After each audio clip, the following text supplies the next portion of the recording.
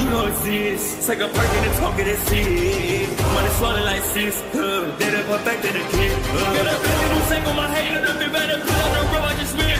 I know we got a million dollars. The devil, they shit, they not cheaper than again. Hello and welcome back, fellow anime lovers, to Manga Muse. I am delighted to have you join us once again in the world of fanfiction and fantasy. This is the 21st part of What If Deku Helps His Best Friend Peter Parker. Smash the like, share and subscribe button for more. Also press the bell icon so that you never miss such great parts. Thanks for the introduction. Now let's dive into the world. Well, Kaminari mused aloud. We're here. Momo looked about, seeing her and her teammates within the concourse of a stadium. Her group appeared to be with several others as well. From her count, in total, four of them. Hey check it out. Hagakure chimed in. I can see Tokoyami. She waved, and Momo followed the general direction she seemed to be waving in and found their black-cloaked peer standing amongst another group of students. He was scowling, as usual, but he noticed them and nodded in their direction. Do you see anyone else from our class? Or from Class B? Momo inquired, looking over to Kaminari. He was already searching, hand above his brow. Hum, not seeing anyone in particular. The blonde mused, looking around.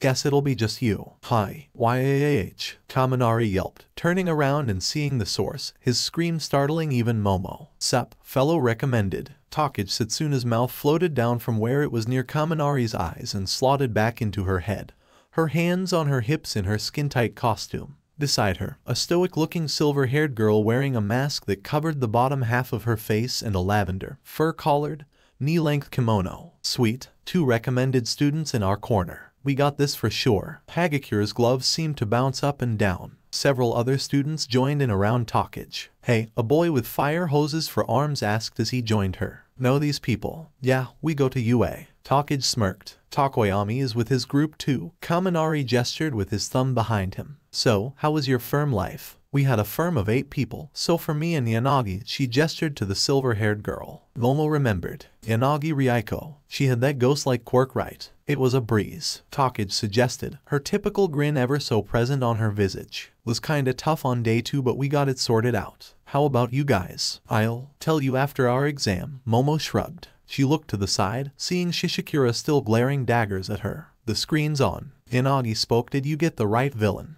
Hehe. Kaminari brushed his nose with his finger. You bet we did oh my tag's green. He said with surprise, looking at his tag. Momo looked at her own tag on her hip, and she looked about. Tokoyami's group had their tags glow green. One group, huddled off to the side, were surprised when their tags began to glow red. Momo bit the inside of her cheek. Um, alright then, said a voice as the screen came to life, Mirayokimaru yawning as he smacked his lips. Now then, let's see who chose correctly, and who didn't. Mira said, look at your tags. Green if you pass, red if you fail. What the? How can we fail? yelled one of the leaders of the group, a tall girl with clamps on her hands. Sorry youngsters, but you chose incorrectly. Please proceed to the exit of the stadium district. Your teachers are waiting. The Soul Group, consisting of about 10 or so people, departed with their heads hung low. Ah, Fukidashi is there. Yanagi muttered and Tokage turned, and she frowned lightly as Momo followed her gaze. A boy with a comic panel for a head was walking out with the group.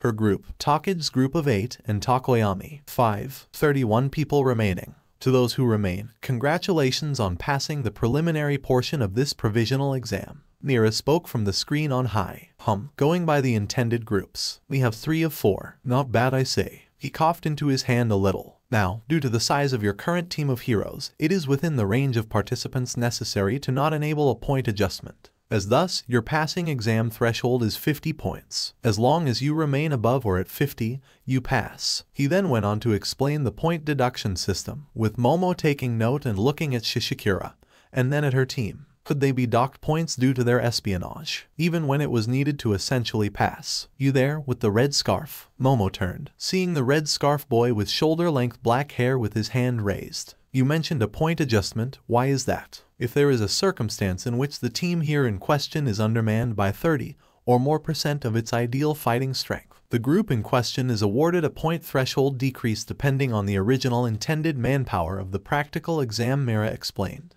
I hope that answers your questions. Now then, heroes, what is your mission? As the various murmurs broke out between the groups, Momo felt the eyes of her own team on her and stepped forward. Our mission is to stop the ghosts of Kyoto. Our intelligence has stated that they plan on destroying a government bureau in protest of recent political law amendments. She took a deep breath. We are to defeat the villains and save both the civilians and government workers on site from them. Do you have a theory on what weapon the villains will be using at the Bureau? Mira asked on the spot. Poison gas. Momo replied on the spot, remembering the research. Tim, Mira didn't react overtly on screen. It didn't sound too bad. Reminded her of her mother whenever Momo reported on her acing a test. The sleepy proctor shrugged, looking off to the side. Alright then, best of luck heroes. Then the screen winked out. Okay everyone, ready. Momo turned around, eyeing her group and Tokage's. You bet we are. Kaminari gave a thumbs up. Hagakure's gloves were gripped as they bobbed up and down, the girl obviously nodding.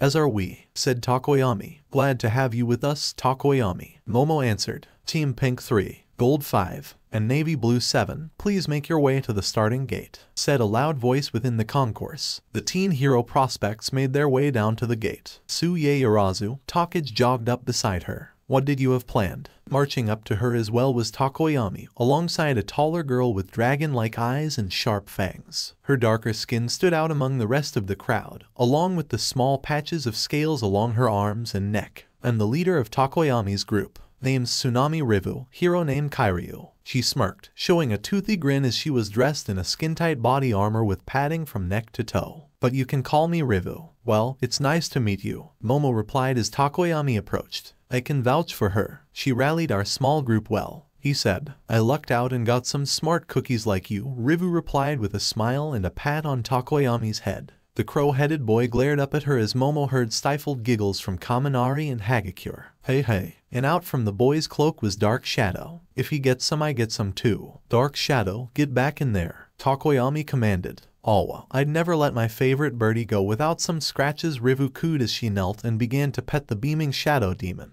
who was smiling like a dog whose ears were being scratched. Momo had to look away and cover her giggles while Kaminari and Hagakure outright guffawed in laughter. Ha, this is the stuff. About the ghosts of Kyoto please. Tokoyami grit out through clenched teeth and Momo coughed as she looked back, seeing her group. Tokage stood by with an amused grin. Alright then. Rivu patted Dark Shadow one last time and stood up. Game time, people. On cue, they felt the ground rumble beneath them. Must be the arena changing like before at the sports festival. Takage surmised. Alright everyone, Momo called out, looking at the mass of students. Our enemy is Best Jeanist, and his presumed minions will be those who have worked in his agency. So expect Hot Iron, Hairspray and Trimmer to act as his lieutenants. They have poison gas tanks that they plan to use to storm the bureau. Momo turned to Rivu. How good is your team of fighters? Pretty good I say. Rivu showed off her flashy canines. Can I trust you to find which of the minions have the gas tanks? Tokage grinned. Way ahead of ya. We can focus on the civilians too. Momo nodded, feeling a little assurance. If we can neutralize Jeanist, do so. Otherwise focus on the civilians. There should be a safe area to take them. Momo's arms were flowing as she made walkie-talkies and handed them out. Use these to keep in contact. It's all on the same frequency, she said, producing more and more. She even saw the perpetual malcontent Shishikura take one, although he glared at it as if it took lunch money from him. Right? Hagakure chirped with a shake of her gloves, her calm unit in hand. Kaminari grinned with Romero as Habuko nodded. The doors opened behind them. Your provisional examination begins now. Momo turned and ran out the door. Already she began to take in the fact that they were in a unique environment. Before them lay a simple ziggurat-like looking building that acted as the government bureau. Eight floors. Let's get inside and she was cut off as she looked up, seeing a helicopter descend at the top of the building. The painted logo on the side had a skull in white blue flames with the characters of Kyoto at the bottom. And at the open door, the number 3 hero in Japan, Best Jeanist stood with three other well-dressed psychics, all in matching denim jumpsuits. She saw them jump down to the top of the ziggurat. Intercept them, Momo called out. We have to get the civilians out. Rivu's body changed, her bodysuit fitting perfectly as her human shape contorted into a blue-scaled serpentine dragon with water and moisture forming on her claws as she took off. Tokoyami followed her with Dark Shadow, the monster morphing around him as he took off into the air. Black Fallen Angel that form was, Momo remembered from training. The black-haired girl also saw a boy with jet engines on his knees take off, followed by the fragments of Takich. Crap, it's gonna take ages for us to get up there. Kaminari yelled. Come on, right, let's go. She waved as they ran through the front door. The grapple gun and her web pellet paintball gun in hand, she aimed and took off. They had to get to the ghosts before they reached the ventilation room on the fifth floor. This is getting crowded, Shoto muttered, seeing how their massive group was crowding up the concourse. Yo, it's Todoroki, Kirishima exclaimed as he ran forth with a big grin. Kendo's here. Awesome, now we're gonna pass for sure. And right beside the redhead was the steel-skinned Tetsu Tetsu. Classmates of yours? Intelli inquired as their group began to file in. Yeah, Kendo replied with a nod. Tetsu Tetsu is in my class, and Kirishima is in Todoroki's. She turned to her muscular peer. I see you're grouped up with him again. She asked with a wry smile. Oh you bet. Tetsu Tetsu exclaimed with a clenched fist and a thumb pointed his way. I thought we were going to have an issue but turned out pretty great. You can say that again bro. Kirishima said with a grin as wide as his steel-haired peer. Still, our firm was rather small, like, only five people. He said as he pointed at Shoto and the group behind him as they fanned out to give each other personal space. The other one only had like six too. How many are in your group? 80 plus, Nagamasa said behind Todoroki. Some of them are here as well actually. Seems like we weren't the only ones to come to the same conclusion. Kirishima perked up. Bohei, you're the hairy guy from Shiketsu, and Kirishima Eijiro, he said, offering his hand with a big grin. Nagamasa accepted it. Nagamasa Mori at your service. 80 plus people. Sheesh, how did you manage all of that? Tetsu Tetsu asked Kendo. The redhead gave Shoto a sideways glance. Manages overstating things. She muttered. Shoto was unfazed. It wasn't his responsibility to corral that bedlam and massive idiots to the right spot. We came up with the correct location and villain using Intelli's quirk and other factors. Nagamasa elaborated. Intelli meanwhile was cupping her mouth in thought, a thermos in her hand. Her brow was furrowed it had been all morning and her nervousness was gnawing on Shoto's own thinning patience and anxieties. Alright then, came a voice over the loudspeaker and the dual quirk boy looked up, seeing the large screen flicker to life. So, that's where all the missing teams went. Mera mused through the screen. Missing teams. Well, let's first see who is supposed to be here. If your tag glows green, you pass the preliminary portion. Red, you fail. Now then, Mira reached over, clicking on something as Shoto looked at his tag. It was yellow. He felt a knife of incredulous shock punch him in the chest and judging by the sounds he wasn't the only one.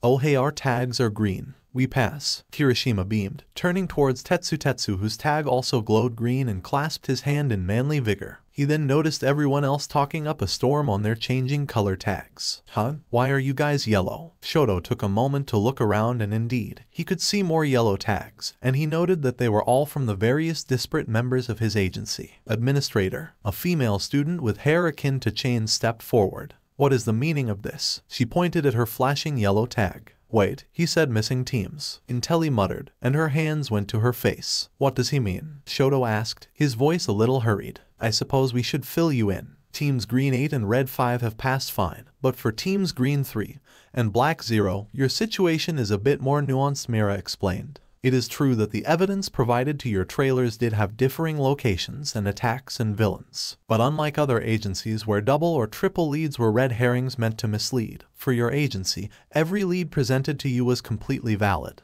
A wave of mutterings and shouted questions were thrown at the monitor. Mira spoke over them. The evidence collected in your agency's points to attacks taking place right now. Mira explained. The point of this exam is to emulate hero agencies here in Japan. Tell me, what is the difference between your firm, Miss Green 33, he said, looking down at Kendo, and that of Mr. 98, standing close to you. Who? Me. Kirishima tilted his head. Tetsu Tetsu lightly smacked his shoulder. Who else, idiot? Well, it's the size of our agencies, she said. Shoto felt the answer smack him in the face as Intelli muttered a whispered oh no. Behind him. Exactly. Now tell me, what do large agencies do when they have multiple leads for multiple locations? Something they're uniquely capable of doing by virtue of having so many members. They split their resources as needed. Shoto mumbled, feeling his blood turn colder by the second. How could he have been so stupid? Apparently Mira heard him. Ding ding, we have a winner. The man even went so far as to lift up and lazily wave a little flag. The fact is, your agencies were meant to split your members into various teams to support other agencies nearby who needed the extra manpower to take on their villain groups. You didn't. So, at the moment while this isn't an automatic failure, even with you successfully repelling this villain attack here, which let's be honest you are grossly overmatching on sheer numbers alone at this point, your passing the provisional exam now entirely depends on how many other attacks succeed or fail without your participation. If a majority of the teams counting on your support manage to pull it off, then you pass. If they don't, then you fail. Simple really. And then there's how you perform in the upcoming exam as well. The wall of noise and protests bellowed out of the stadium like a wave, but Shoto didn't have time for such.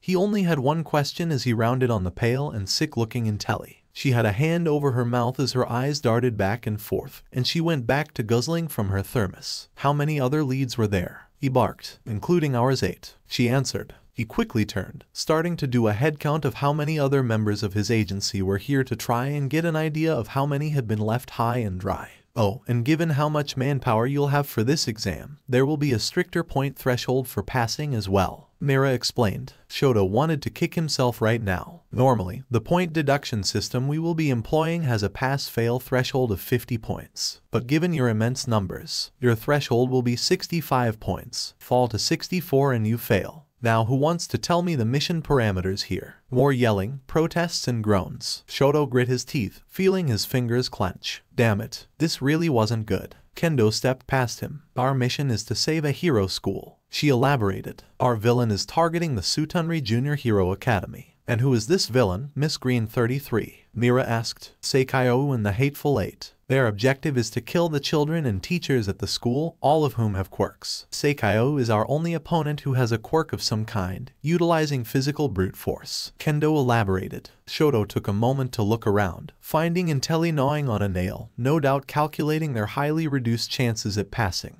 Nagamasa remained silent, inscrutable under the mountain of hair that was his quirk. She's your class rep. Reminds me of Yaoyorozu. Kirishima exclaimed. They plan to use firearms. Kendo continued. Several gunmen with military equipment while Seikyo will use her quirk. Hamira nodded lightly in approval. Very well, best of luck heroes. Make your way to the starting gate. You have 10 minutes. Take note, with your manpower, the villains won't be as generous as the other villains are in the other examinations. If anything, they'll only respond with greater force when pushed into a corner. And the screen blacked out. Alright, let's move everyone. Tetsutetsu called out as he jogged forward by Kendo's side. Let's kick some villain ass. Let's group up Todoroki, Kirishima said as he gestured to him to follow. You wanna come too, Nagamasa, if you insist. The hair-covered boy looked down at Intelli. Will you be alright, Seiko? Why yes, Intelli nodded, taking a deep breath. Just needed a moment. Once we are in, I'll have to set up. Shoto nodded, turning and walking ahead through the crowd with Kirishima and Nagamasa at both sides. He came to the front before long, seeing Kendo talk with Tetsu Tetsu and a girl with the claws and face of a mole. So, our plan for attack is to neutralize the villains fast. Right? Tetsu Tetsu asked. Kendo nodded. We have the numbers advantage as they said, and they only have one quirk user. That alone tells how frightening this guy is gonna be. She looked out, seeing everyone else arguing. She sighed and rubbed her temples. This is gonna be a nightmare. She took a deep breath. The doors aren't open yet. She muttered suddenly, then tapped Shoto on the shoulder. Hey, I need somewhere to stand high. Shoto raised an eyebrow wondering what she was asking him for when he caught her eyebrow raised expectantly and realized what she was requesting. Part of his pride chafed at being relegated to a footstool. The other part of him realized his margin for passing or failing this exam was far far far more thin than he liked right now. With a shift of his foot Kendo was suddenly standing on a block of ice four feet tall, quite literally towering over the room. She yelped, nearly losing her footing on the slick surface before she found her stability, and let out a shrill whistle to catch the attention of those who hadn't noticed her sudden elevation in height.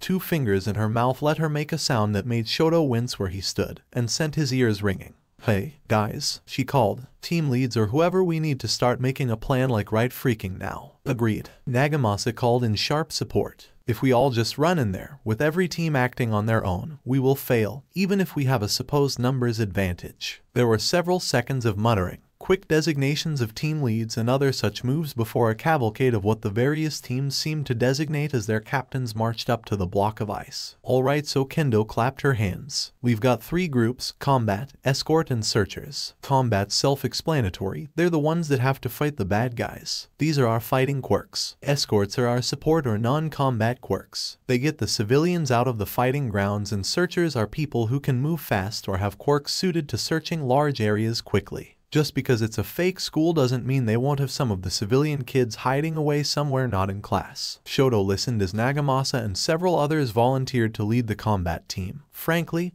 he didn't care who led. He wasn't a people person and had no interest in the role. As long as everyone stayed relatively out of his way, he could fight freely without worrying too much about collateral damage, making this situation a relatively simple fight. His ice could freeze the whole stadium in an instant if push came to shove after all. The escort and searcher teams were smaller than the combat team, either because more people wanted the glory or because they just had that many combat quirks.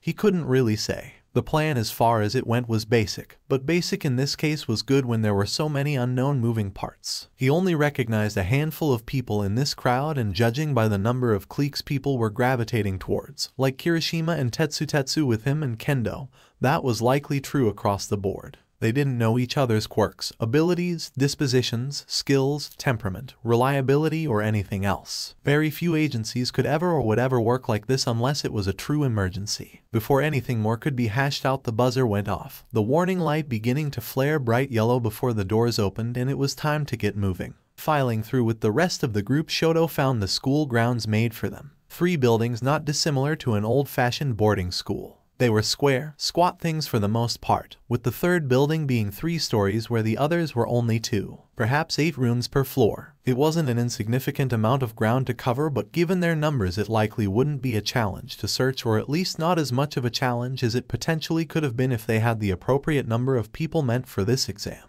Come on, let's go faster, someone said, and like that the crowd of examinees rushed forward, all but sprinting across the lawn towards the school grounds. Shoto was no exception, but his eyes moved back and forth, searching for where the villain team might make their approach. There were only a few cargo-sized doors in the open baseball stadium, as the school wouldn't fit inside a normally enclosed arena that could be opened to admit a group of any significant size to the arena at once and all were a fair distance away, giving them plenty of warning.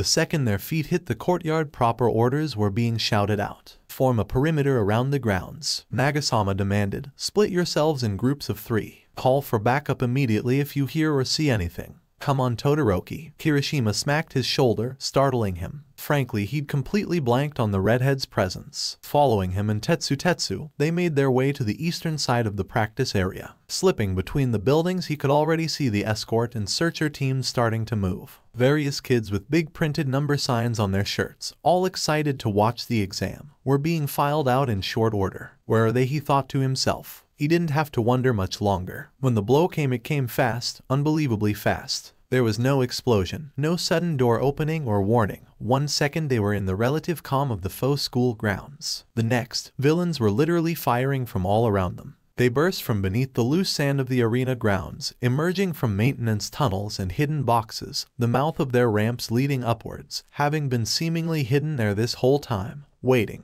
They came up with weapons raised and it was only on pure panicked reflex that had Shoto bring up an ice wall that saved him, Kirishima, and Tetsu Tetsu from being hosed down with automatic fire. Other combat team members weren't so lucky. He saw several of them get hit, the red from the paintballs mimicking real blood so much Shoto almost believed for a moment that they'd been shot for real, especially as they hit the ground with screams of genuine pain. The villain group surged forward, tightening the noose like a constricting predator. Hey, get back here, someone shouted behind him. Whirling back around to look, he saw kids, several of them, running, sprinting away from the main group. Some of them were caught by other hero hopefuls before they made it too far but one moved past the line of combat team members now openly fighting the villains, slipping towards the villain lines at the stadium seats. One of the villains straightened up, and pointed down, pulling a second trigger twice on the weapon, releasing puffs of air that ruffled the kid's shirt and hair, before planting a hand on his shoulder. The kid sat down on the sands of the arena, the little sign on his shirt turning to a bright red X. Shoto's teeth were grinding now. panicking civilians to add to the chaos. Panicking civilians who, if they got killed would make things even harder, points-wise. And to top it off the little help me company bastard was grinning, pleased at having succeeded at dying. Go I'm dying. One of the villains rounded the corner of his ice wall, and with a slap of Shoto's hand against the cold surface the ice moved again, a thin spear bursting out of the wall to skewer the weapon in the man's hand and ripping it out of his fingers. The goon recovered quickly, ducking low under the spear, and to Shoto's surprise, drawing a knife and coming straight at him hand to hand. Very few if any ever got close enough to fight him in melee, and for a moment the Todoroki prodigy was struck almost stupid at the fact. He stepped back, dodging swipes from the knife with a painted edge before he got his bearings and shifted his foot to freeze the man like a winter carnival statue. Then Kirishima slammed into the guy like a linebacker and crushed him against the wall. Come on, the redhead demanded. We gotta go help. Shoto turned, seeing some gunmen still raining fire on the heroes as they had recuperated and were taking defensive positions. He saw some kids form a wall of earth, others using their quirks to act as human shields like one slime boy and a girl made of some sort of rubber. Tetsu Tetsu was suddenly and violently thrown into a concrete wall with enough force to crack it. Shoto's head whipped about, scanning the courtyard. A massive chunk of earth erupted around the students as if a missile had crashed into it. Hero hopefuls being sent flying as he turned in surprise. A shape moved within the massive cloud of dust and debris, causing the dust cloud to part almost instantly. My my, seems like Endeavor's little pup has come to play. A little old woman with whitish pink hair and dressed in a red cheongsam with a black bodysuit underneath stood there. She might be small, but she was not hunched over, standing proud as the screams from the heroes, children, and teachers began to ring out. Shoto felt his fire come to life. This had to be her. Come on everyone. Kendo was rallying the befuddled heroes. Let's get her. HM. The old woman made a sound, raising her hands as her fingers moved in a flicking motion. What came next was like being smacked in the face by typhoon gales. Shoto grit his teeth, digging in his heels to form icy footholds to stop himself from flying back.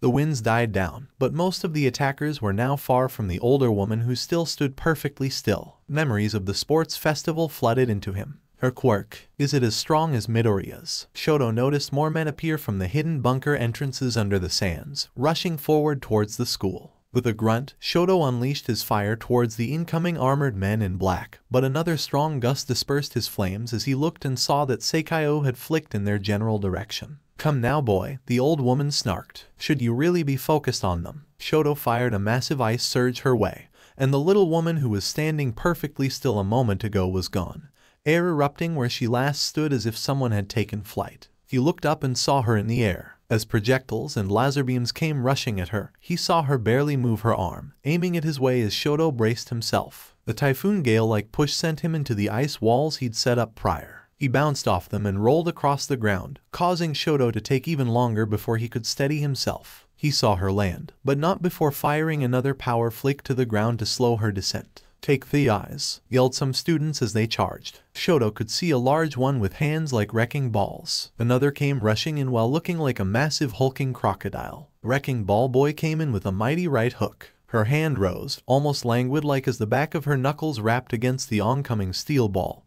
and sent the youth's fist crashing into the dirt beside her. With a solid whack of her cane across his face the kid's head whipped about and then a barely their thumb flick on his forehead sent him skidding across the floor, carving a trench with his bare back. Seikayo pivoted, avoiding the chomp from the crocodile boy's jaws, bending like a leaf in the wind as she swerved to the boy's side with grace unbecoming of her age. Her shoulder was right beside the titanic mutant boy's ribs, and with the barest of movements, the reptilian youth was knocked back. The impact visibly hurt him as he held his stomach and fell into a kneeling position in the dirt. She turned, raising an eyebrow towards Shoto. He felt nervousness swell within his stomach. Kendo, Tetsu Tetsu, and the others were running towards the school where the mercs were trying to reach the civilians. That look in your eyes, much like your father's, the old woman said, and Shoto blinked, feeling a boiling anger swell within him. Him, yes, exactly that. Now would you humor this old soul? She mused. Don't disappoint me. She doesn't want to be disappointed. Ha. The flames roared and the ice at his feet spread out, cracking the earth as he glared at her. Ring it. Seikayo chuckled as more students began to charge in.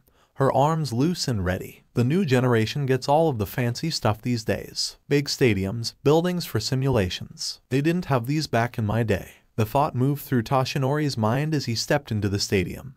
But he honestly couldn't help himself. Back in his day, the license exam was little more than an internship. You proved yourself in the situations that you could control in the field. There weren't enough heroes to hold the line as there were today. Nice place, Melissa commented, but Toshinori could already see her trying to look through the different monitors to find her friends as they sat in the arena. Toshinori himself spotted a few of them, wincing at the opponents everyone was facing. He knew the call for help went out far, but it was still a strange sight to see his peers within the top 10 heroes on screen. It isn't for tourists. Toshinori turned, and Melissa flinched a little. Aizawa only gave either of them a sideways glance before returning his tired attention to the screen. Well, there's nothing to say that other teachers can't join in, Toshinori explained. Another flicker of a gaze from Aizawa, this one lingering on Toshinori's smaller form and Melissa taking a seat in the bleacher in front of her. The eraser hero gave a long sigh, seemingly piecing everything together right then and there before Yagi even got the chance to sit down. How are they doing? Aizawa shrugged. They haven't failed yet. Toshinori's brow flicked up slightly. That almost sounds like praise. I saw Vlad steaming a while back. Some of his students must have failed in the preliminaries. Aizawa just hummed, looking up at the screen, frowning at what he saw. Toshinori looked up and shuddered as he saw young Todoroki be sent flying by the force from a flick from that old woman. They're fighting all Seikaiou. Melissa turned to him, a curious expression on her face. You know her. Toshinori chuckled. Yeah, back before even my time, she was an accomplished hero, he explained. I'm surprised she was willing to come out of retirement for this, Toshinori commented. She was convinced when she saw the participant list, Aizawa lazily said, tired eyes drifting over to the screens. A few names there inspired her, apparently. Toshinori shivered. If Seikaiou got inspired, she usually wound up devastating the countryside, hence her being more of a rural hero. Those poor kids. Peter tapped on his wrist, his web shooters activating as his HUD began to light up, outlining Orca's minions and the big whale man himself. The big guy was in red, his minions in orange pouring out of the drill tank. Troop transport which looked as big as an RV. Peter's allies in blue and the civilians in green. He could see Shindo and Monoma touch hands, a large mass of vines sprouting out from Shiozaki's hair, and began moving quickly to collect and shield the civilians. And then Orca rushed towards them like a runaway train. Peter leapt into a backflip right before the massive Orca's hand slammed down in the space where the boy once was, crushing the tile. He twisted in midair, trying to kick the large beastman, but the pro's hand shot up, catching the kick and swinging him like a bat before releasing the young hero. Peter felt his back hit something hard as he heard a shout of pain and surprise. Watch it, Parker. Bakugo screamed, unleashing a series of explosions as he took off and roared, striking at some of the black armored minions and sending them flying, avoiding bolts of those goo guns. He turned as he aimed for Orca. Raising his hands, he let out a roar as fire and fury surged outwards. Orca raised an arm, protecting his face as he pushed his hand into the ground grabbing a piece of tile with his bare hands and chucking it at Bakugo, who ducked and dodged to the side. Orca moved faster than anyone of his size had any right to, blocking a sparkling green blur that was trying to go for his blind spot. Izuku grit his teeth as Orca swung his arm, and the boy was sent flying from his backhand. Several of the minions got into a firing line, leveling their guns onto Shoji and Ibara. Peter shot up to his feet, webbing lashing out to grab the first gun before they could open fire. A single yank knocked the man into his partner and gave Shoji the moment that he needed as he sprinted forward. Octo Lariat. Four arms crashed into two guards, hitting them hard in the chest and sending them flying. However, the other villains rallied instantly, pulling out batons and knives to engage in close combat. L was right by Shoji's side, and to Peter's surprise, her arms swinging with what seemed to be white spikes coming out of her arms batting aside knives and batons. Hurry up, she screamed, weapons clashing I got my roll, do yours. Shoji nodded right. He turned and rushed away. Peter saw Camie doing the same as she gathered some civilians to run out of the lobby. Orca moved, dodging blasts from Bakugo and weaving between strikes from Izuku. A swing of his massive arm nearly caught Peter as he jumped in to assist. You're all blind, he said. I am not the threat here. Peter could see the ghost of a smirk and fangs poking out of his mouth. After all, I'm here to kill all of the ones responsible for polluting our planet. Peter's eyes narrowed behind his mask, and then it clicked the moment he heard it. The ticking. Peter's head snapped to the tank, and on the side, a clock started ticking down. He heard a cocky scoff from the whaleman as he looked his way. Peter leapt over him, launching off the villain's fist like a gymnast. It gave him a moment to see everything shift around him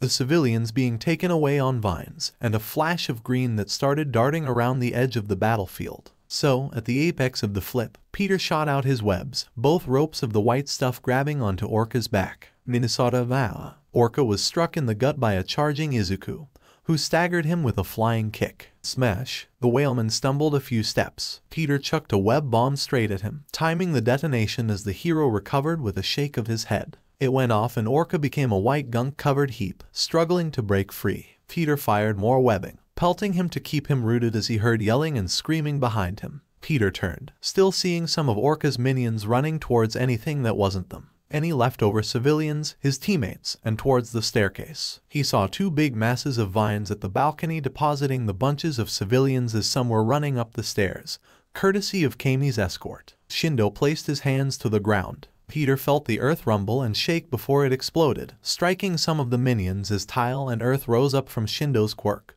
vibrate, creating a makeshift barricade between the villains and the stairs. Peter heard Orca roar as he broke free of the webbing. The villain turned, glaring his way, micro machine harpoon spear in hand. Peter knelt down, hand to the floor. Bring it free, Willy. He saw the whaleman charge, leaping up with a roar. Peter jumped out of the way from the crater the man made with his landing before firing two web shots past the man, yanking himself forward like a slingshot to slam both feet into Orca's head, knocking the whale man on his ass. Orca rolled with the blow, smoothly reaching his feet as his red eye glared at Peter. Peter felt his sense flare up. The air seemed to distort for a second, and Peter's legs pushed him to the side, jumping out of the way of something. The hell was that? Peter muttered to himself as Orca rose. He aimed his webbed shooters, going into burst mode as he fired in a rapid-fire staccato to bind him. Orca reached down, ripping a slab free from the ground to stand as a physical shield as Peter rushed forward, using the shield himself to close the distance again. Sense flare. Peter twisted in midair, firing his web shooter before he pulled hard. Fire and fury erupted, blasting apart the dividing barrier between him and Orca. It caught the whaleman, making him yell in pain. The American couldn't see him as he skidded back from the shockwave, the heat rushing over him. Peter landed and turned, glaring hard at Bakugo as he tossed aside the pin from his grenade gauntlet. Are you serious? Peter barked in anger. You were able to dodge with your precog. Quit being a pussy, Bakugo yelled as he took off into the sky and towards Orca, only for the smoke to seemingly part and Bakugo, to his credit, blasted to the side, avoiding the invisible shockwave. Peter changed his web shooters to full burst and aimed two large web bullets that drained his remaining reserve in the current cartridge at the center of the smoke.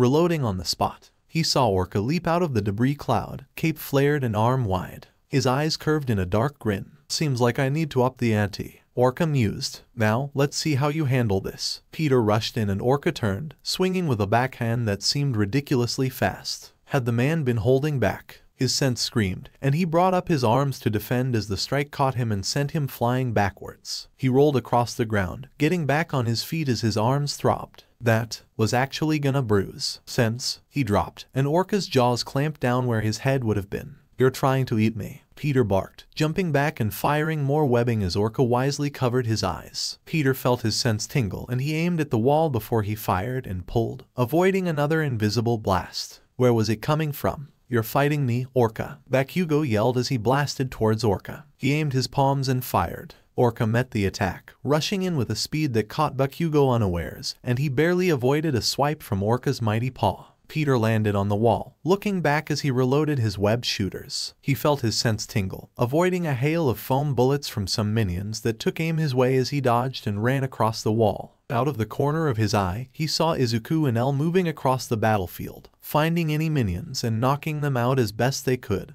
trying to clear out the last of the stragglers before pressing the attack on Orca. He saw Bakugo blast away at Orca, but the whale man was unperturbed, almost smiling as he kept the blonde bomber on the back foot. Peter pivoted and pushed off the wall, rocketing towards Orca. He fired his web shooters and they latched onto the man's shoulders. He pulled, aiming to yank him off balance. Orca had other plans. Reaching up and behind him the man grabbed hold of the webs, yanking Peter off the ground. At the end of a lasso, the boy from Queens was smashed into a body. He heard a cry of pain as they met the ground and skidded away. Peter groaned. Get the fuck off me, Bakugo snarled, kicking the wall crawler off before stumbling to his feet. Orca, Bakugo yelled, blasting off with a backblast of fire and force not dissimilar to a grenade going off that caused Peter to stumble backwards and against the debris. He snarled, You're the fucking worst. Peter yelled as he fired a web line and swung after Bakugo as Orca rolled his neck and got into a stance. H-O-W-I-T-Z-E-R.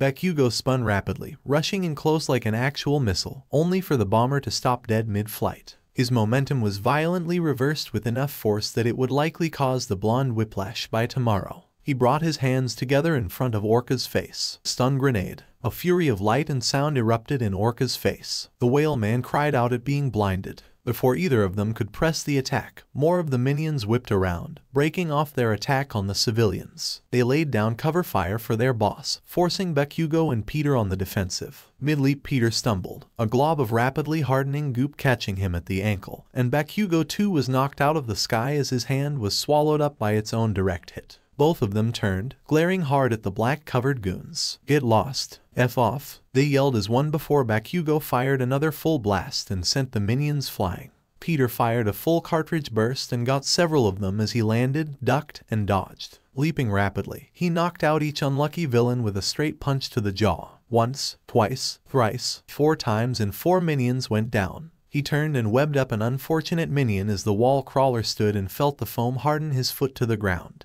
Peter tugged on the webbing and slammed the minion down on the ruined tile floor. He bent down and bashed the hardened foam on his foot with a fist. Just in time too as his sense flared and Peter leapt away from Orca and his trident. The man then swung in a wide arc, Peter feeling the tip of the dull blade nearly catch his chest. However, Orca pivoted and with his motion, swung the weapon towards a rapidly approaching Bakugo. The boy was caught by the spinning weapon and fell from the sky like a stunned bird as Peter aimed only for the whale man to turn, red eyes gleaming in battle lust as he ripped out a chunk of concrete in the same smooth motion and hurled it at him, catching Peter in the chest as it knocked the wall crawler end over end. Is this all you have? Orca yelled, arms wide as he showed off those sharp teeth. Next all Mediaite. Peter was halfway to his feet before Orca was on him, his punch catching him in the chest and sending him flying across the room and into the wall. Peter's vision was spotty as he coughed in his mask while his HUD sputtered and flickered. Peter got back up, hand against a chunk of debris as he felt the soreness in his chest with each deep breath he took. And he heard a yelp of pain and Bakugo was sent flying through some tiles and debris from a weaponized piece of rubble. Peter reloaded his cartridges and glared at Orca as he approached him. Come on, Peter uttered, and he ran back into the fray as he heard the roar of Bakugo charging in with him. Itsuka was frantic, running towards the school with a mole boy named Momotaro, Kirishima and Tetsu Tetsu. Behind her was Nijima, a girl with a straw doll-like body from another school who was legging it with Kaibara. That opening salvo by Seikyo was downright brutal, and had taken out almost a fifth of the hero candidates immediately. The girl kicked herself for not being able to see it sooner. The right amount of hero candidates meant that a small group would be able to get Seikyo's attention while the others would be able to go to the school and save the civilians. Instead, they had the equivalent of a JSDF battalion of hero prospects. Too many people, too chaotic and clustered. It was a perfect chance for the old heroine to cut loose and for those trained soldiers to take the initiative and go to the school. The HPSC had brought in legit commandos to play the role of villains, or had these guys been switched in to handle groups like hers that were over the expected strength parameters of what they were supposed to have? A scary thought. But Parker, Todoroki, Midoriya, and Yaoyorozu from class A had fought against similar foes on I Island according to Vlad Sensei. Well, time to measure up. Can't believe we lost some people at the start already. Momotaro griped. He was a nasally boy with a large nose and small eyes that looked huge behind his goggles, but his sharp mole claws were perfect for digging. Nothing we can do now. Tetsu Tetsu chimed in. He saw a door up ahead. All right, coming Throwug. He roared as he busted down the door. The shooters went up top. Itsuka said as they ran inside, slowing their run. The redhead could hear the roaring and screams outside combined with the sound of windows being shattered. Get them away from the side of the school where the fighting is. Put them in opposing classrooms, Itsuka declared, seeing a camera out of the corner of her eye. Kirishima, Tetsu Tetsu, take the lead. She turned towards Momotaro. Can you dig us some tunnels to help protect the civilians too? The more protection and places to hide, the better. She opened a janitor's closet and the mole boy grinned.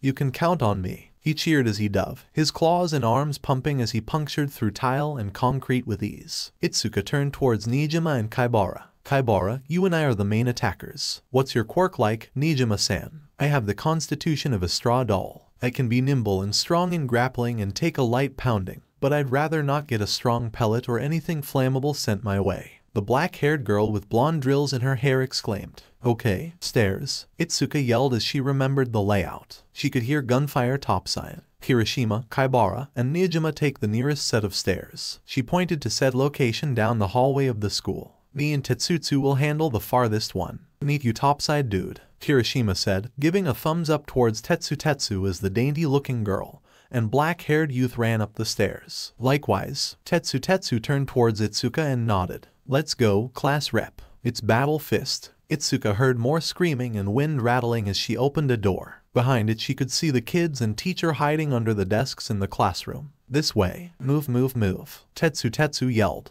Oh, heroes, said a kid with a very deep voice and looked a bit gaunt. We're saved. Another exclaimed with a nasally squeaky voice. Yep, definitely not grade schoolers. Itsuka ushered them through, opening the door as kids began to file out quickly into the other classroom where other civilians had been gathered already. All of a sudden, she heard an explosion go off directly above them on the third floor. Itsuka perked up, as did her steel-haired friend as the kids now bolted for the other classroom. Running up the emergency stairs, Tetsu Tetsu was right behind her as she ran, enlarging her fist as she rushed towards where she heard screaming. Punching the door, she sent it flying across the room where it served as a shield to the rubber bullets that punched through the window. The villain was right outside the glass. Lucky break. Go, she ordered as she ran ahead, yelling as she jumped on a chair, and then out the window at the stunned-looking jetpack-wearing soldier. She brought her big fists down in a slam, making the soldier fall and the jetpack crunching under the impact. The mono, woman given the shape of her figure, rolled away before she raised her rifle and took aim. With a roar, Tetsu Tetsu leapt out of the window,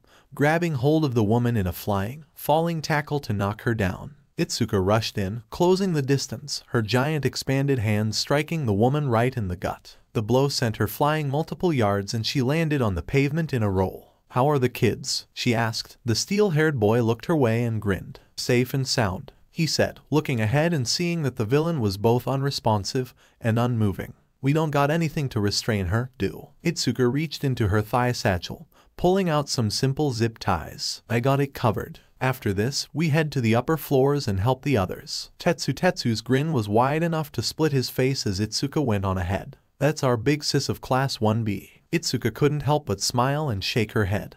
But the good feeling was gone as she felt more gusts of wind from the battle raging in the stadium and the courtyard. Momo rolled across the floor, biting back a curse. She was not having a good time right now. The primary reason for that conclusion was the absolutely pungent smell of hairspray that literally made her eyes water and her mouth gag. Through a gas mask, she could still smell the citrusy scent. Hairspray's quirk was exactly what it said on the tin as she came out of cover and fired her paintball rifle. The more acidic his foods that included processed meats, cheeses, and onions, the more concentrated the resulting hairspray almost to the point of being seemingly poisonous. His fingers had hairspray nozzles at the end joints, and he wore a gas mask similar to her own. The poison gas canister had to be in his backpack. Hairspray ducked behind cover, avoiding the web bullets as Momo's hands began glowing.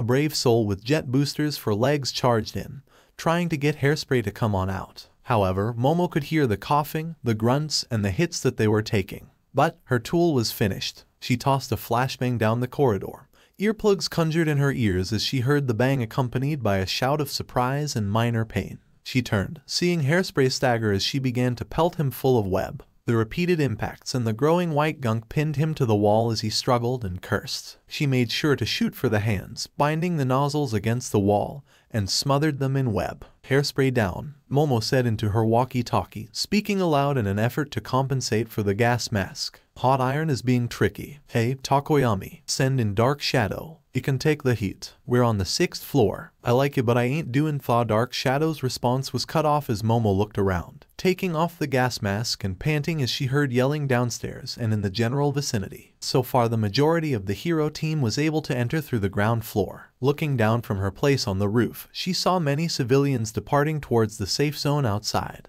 Momo moved towards the stairwell, making the turn as she remembered the layout of the floors from the group's research. The door to the stairwell burst open as water surged out of it. Momo backed off and conjured a hand mirror, using the mirror to peek outside while using the wall for cover. The inside of the halls consisted of widespread carnage, and some walls were scorched. A denim-covered hero with massive steel protrusions on his hands that were glowing red was swiping and dodging with grace from a smaller dark shadow. Hot Iron barreled through a wall before lunging for Tokoyami himself. He was strong, or perhaps the denim was a support item that increased his strength and durability. She walked down the hall with her paintball rifle, tossing away the mirror. Wincing at the heat searing on the walls, she turned, seeing a fire extinguisher in its casing. Taking the butt of her paintball rifle, she smashed it open as she heard the sounds of combat from another hallway. She peeked around it, seeing Hot Iron batting away Dark Shadow and making the shadow monster yelp in pain as it retreated and shrank. She saw Rivu dive in, and Hot Iron simply sidestepped her attack. He came down hard on the dragon girl's back, Rivu yelling in pain. Get off of her. The denim-clad man turned, and was struck by Tokoyami as he swung his arm. Dark shadow forming around his limb into a giant claw despite his smaller size from the light sources. The man rolled away, the metal irons that made his hands blazing red once more. Rivu struggled to get up, seething as Momo took aim, firing several shots and hitting the villain in the chest. The man yelped and staggered as white gunk appeared. As he moved the hot irons on his hands in an attempt to remove the webbing, Rivu roared, firing a surge of water at him and sending him crashing through a wall. Momo heard footsteps and turned, seeing scared civilians behind her. We were trapped. And Momo nodded, running back to the fire extinguisher and grabbing it. Tokoyami, she yelled, the raven-headed boy turning as Momo threw the red canister with all her might down the hall. Dark Shadow caught it perfectly. Dark Shadow, Tokoyami commanded as he charged, his shadow monster carrying the extinguisher. I, eat this, overalls. Dark Shadow cried as he hurled it at the stunned hot iron. The canister exploded into foam upon contact when the foul villain brought up his iron hands to defend himself from the incoming projectile. Rivu roared, charging and twirling her body. Kairyu, water surged around her claws and face as she sped right towards the stunned villain, twirling as the water formed around her like a drill. The attack struck him dead on with Momo hearing the villain scream as she slammed him into a wall. Momo felt relief as she turned towards the civilians who were hiding in the other room. There are other villains on the lower floors fighting downstairs. They have poison gas canisters. Go to the roof. You'll be safe there. Thank you, heroes, the civilians said as they trotted past. Momo then heard them mull amongst themselves. They aren't half bad, she heard them say. She trotted down the hall, seeing Rivu take the backpack off of Hot Iron's back. Geez, this thing is heavy. They were fighting us with this weighing them down. Rivu winced, the serpent girl turning towards Momo and Tokoyami. So, that's two right. All that's left now is Trimmer and Jeanist. They're down below, trying to get to the air ducts no doubt. Tokoyami said, Indeed, the air conditioning control system is there. Momo activated her walkie, status on civilian evacuations. Her hands conjured handcuffs which she passed to Dark Shadow who used them to restrain the unconscious villain. You're under arrest, bub. Dark Shadow jeered. He's totally your inner self right, Rivu said with a smirk. The cloaked boy rolled his eyes. We're ferrying them all out. Romero replied. We got a combat team heading up to the fourth floor where the AC unit is. Better hurry. Kaminari and Habuko went with them. Good work, keep at it. Momo hung up and turned towards her two comrades. Shall we? Rivu smirked, tossing the backpack containing the gas off to the side. The combat team hasn't responded back. Tokoyami mused. Jeanist may have taken care of them, or they're pinning them down. Momo mused as she turned around. We need to hurry down below and Hey yeah Momo, Rivu spoke, and Momo turned, eyes befuddled at the dragon girl's casual use of a nickname only reserved for class as she had a sharp-toothed grin. Forget the stairs. I got an idea. Geez, Setsuna yelled, backing off as she avoided the slash of Trimmer. Like the other psychics, he too was covered in support company denim, his hands a complete mishmash of scissors and shaving razor blades. Trimmer smirked as Setsuna retreated via her floating body, grateful that her costume only had organic mesh material made from her skin cells. One of her eyes was focused on the casually approaching Best Jeanist. All around him, various other hero students were either on the ground or their knees, their costumes betraying them as Had manipulated the linens to bind them up. I won't let you, Setsuna yelled, seeing Jeanist move towards the air conditioning room. If he got there and had the canisters and the backpacks inserted into the vents, it'd be game over for the civilians still inside. Setsuna split herself up into countless pieces. Trimmer, Jeanist ordered. Don't hurt her too much. She needs to choke on her failure. Trimmer, grinning like a madman, charged with his bladed hands as he leapt forth, performing a corkscrew motion as she did the best she could to split her body even further to avoid the worst of the damage. Even so, she had placed her torso and upper arms in front as a barrier, bearing the brunt of Trimmer's blunt-bladed assault. Obviously, he would go blunt considering that he was a hero, and this was just an exam. But damn that hurt. Jeanist was walking casually towards the air room as Setsuna gained on him, her fragments coming back together to form hands her legs and her face. She decided to take the canister, bite his neck and choke him out using her thighs. She saw something drop out of Jeanist' sleeve and onto the ground as her body was about to form back together, only for something to explode out, all fluffy and tight-like as Setsuna gawked in surprise. She wasn't able to move. What the hell? She yelled, seeing what had been dropped. It was yarn. Her face bits were stuck. She attempted to force the rest of herself forwards, arms and la. More yarn balls fell out, and the strands all caught her pieces as Setsuna cried out. 45 pieces. That was as many as she could make. Thus Jeanist turned, eyes glaring at her. Perhaps you should have considered an alternate approach. The green-haired girl did her best to struggle, but the yarn was stuck to her, and to the walls, floor, and ceiling. Thumb trimmer. He reached into his pocket, pulling out respirators as Setsuna's eyes widened. Come on guys, said a voice, muffled by doors as Setsuna's eyes turned, and she saw even Jeanist turn slightly too. Setsuna recognized it. It was that Kaminari guy from Class A. She heard a rush of footsteps. He had backup but, Trimmer, you do the honors. He lifted the backpack of canisters up, and his sidekick took it before walking at a faster pace towards the ventilation room. Genis turned towards the stairwell door. Prep, we're gonna fail. Setsuna struggled as hard as she could, but she couldn't get out of the yarn. This isn't fair. Toshinori's eyes flickered towards his ward. Melissa's irritation at the tests had been growing with each hit that her fellow students took and every time that the great heroes of their time simply turned the table with a well-placed move. Frankly speaking, it wasn't fair, and the worst part about it was that most of them were holding back. He knew what Endeavor, Orca, and Jeanist could really do. He'd fought alongside all of them enough times to see them prove why they were top 10 heroes. To throw them against students, children in the legal sense of the word, was almost cruel. Only, fighting villains never is, Aizawa explained without a hint of mercy. There is no code of conduct for some villains, while heroes are limited by a whole number of different things. Students have to prove that they can work against these impossible situations as best they can,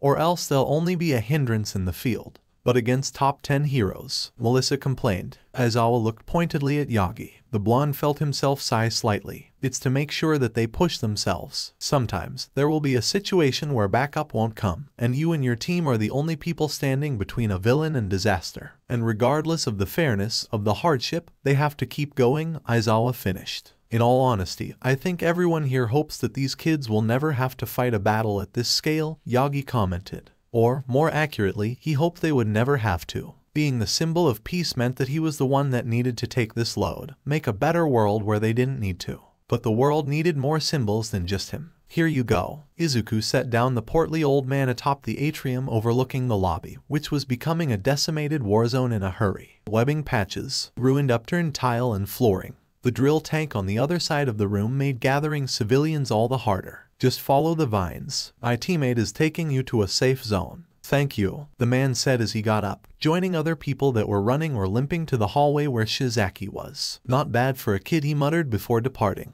Izuku turned and jumped down the stairs, landing near Utsushimi who was blowing rainbow vapor from her lips behind upturned furniture. From her, various shimmering clones of himself, L, Peter and Shoji were rushing out to confuse and distract the minions. Izuku ran past Shindo and Monoma as L blitzed around the illusionary mist-covered battlefield, slashing and hacking with her bone blades and taking advantage of the confusion from a distance. Shoji was running about and doing the same but closer towards the escalator as to protect the one viable access point to the second floor and to the safe zone. SMASH, he shouted, vaulting over debris to punch one of the men in the side, knocking him into a wall. Turning to look at Shoji, he called out to the multi-armed boy. Any more civilians? Towards the windows, he yelled, playing the role of overseer of their rescue efforts. He ran towards the window area. He should be helping Peter and Kacchan against Orca, but with so many other enemies around they and the other team were at risk of being overwhelmed without any speed to cover multiple angles at once like he could.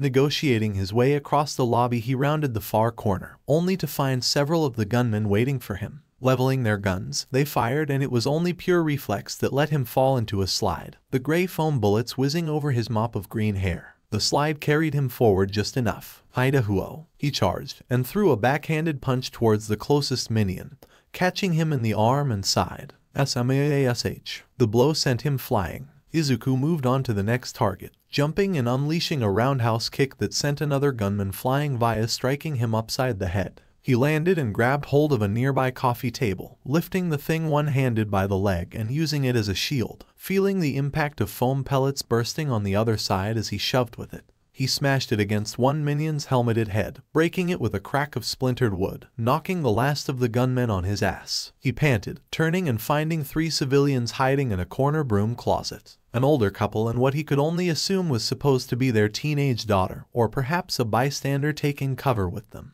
Let's go, he yelled, helping the older people up and placing the older man on his back and the older woman in his arms while the young lady stood up. Just follow me and keep your head low. Why yes, thank you. He ran with her around the lobby, seeing the battle unfold as he saw Orca locked in battle against Kacchan and Peter. Orca backhanded Kacchan who was trying to come in with a blast from behind, sending the blonde skidding across the ground. Peter charged in and decked Orca in the head, stunning him as the American webbed Orca's face and kicked off him. As the whaleman tore the webbing off his face and spat a tooth out of his bloodied lip, he stared them down. Orca didn't seem phased at all. Izuku saw Kacchan land, turning about in a pivot with a battle-hungry grin on his features as the blonde oriented himself towards Orca. Izuku finally arrived at the atrium, Shindo wisely coming over to take the old lady off his hands as he set the old man down. The young lady also trotted forward, almost out of breath. Oh, check out Shoto. He's about to fire a big blast at that granny you were scared of, Uncle Might. There was a snort, and the symbol of Peace's head whipped around, Aizawa rubbing his mouth. Yagi's impressive eyebrows rose up like a teeter-totter. Focus on the match, Aizawa said quickly. It was bedlam out there, and all from one damn old lady, from her foxhole. Intelli stood by with her two classmates as they finished preparing a new batch of tea while the girl relayed orders. She quickly commandeered the services of several mover quirks, two with a semblance of increased speed and a girl with wings named Kanishi. So far, throwing their heavy hitters at Seikayo wasn't working. She was anticipating them, sending them all flying back and making it all the harder to land a good hit on her. Any projectiles were dodged with a grace not fitting of a woman her age, or she used any raised debris made from the scarcest of kicks as shields. Todoroki was holding his own, but he was being thrown around as well. The woman seemed almost fixated on him, taunting him the most. As she sipped some warm tea from a paper cup, she felt her mind flex and expand as her IQ increased. Seikayo was able to possess the physical power of All Might of all people while barely moving a muscle. Her short, controlled motions resembled those of a martial artist. She always maintained her posture, her stance every time that someone came close and only moved when she needed to. She hadn't even moved from her spot save to dodge and bend down with the occasional leap. She took another sip, her brain pumping as she ran over her hypothesis in her head. There was no build-up, no collection of power or even movement for momentum. It was like she wasn't supposed to move to ensure that her quirk would activate. It clicked. Listen up, she said, pointing to the three she'd commandeered for this. I need you all to carry the message around. I know how her quirk works and how to beat it. Shoto could already feel both of his sides starting to overextend. With every ice blast, a fire shot needed to go out. Keep things even, keep things moving, all to avoid draining himself but it was at moments like this that he was actually aware that his fire wasn't on the same level as his ice. Seikayo had rarely moved. Many of the students in the arena and the stands were trying to attack her en masse. You're all, Seikayo said, her eyes glued on the dual-haired boy as she positioned her foot towards another piece of earth. So predictable. And the upturned dirt and grass went flying his way. He conjured another massive ice wall,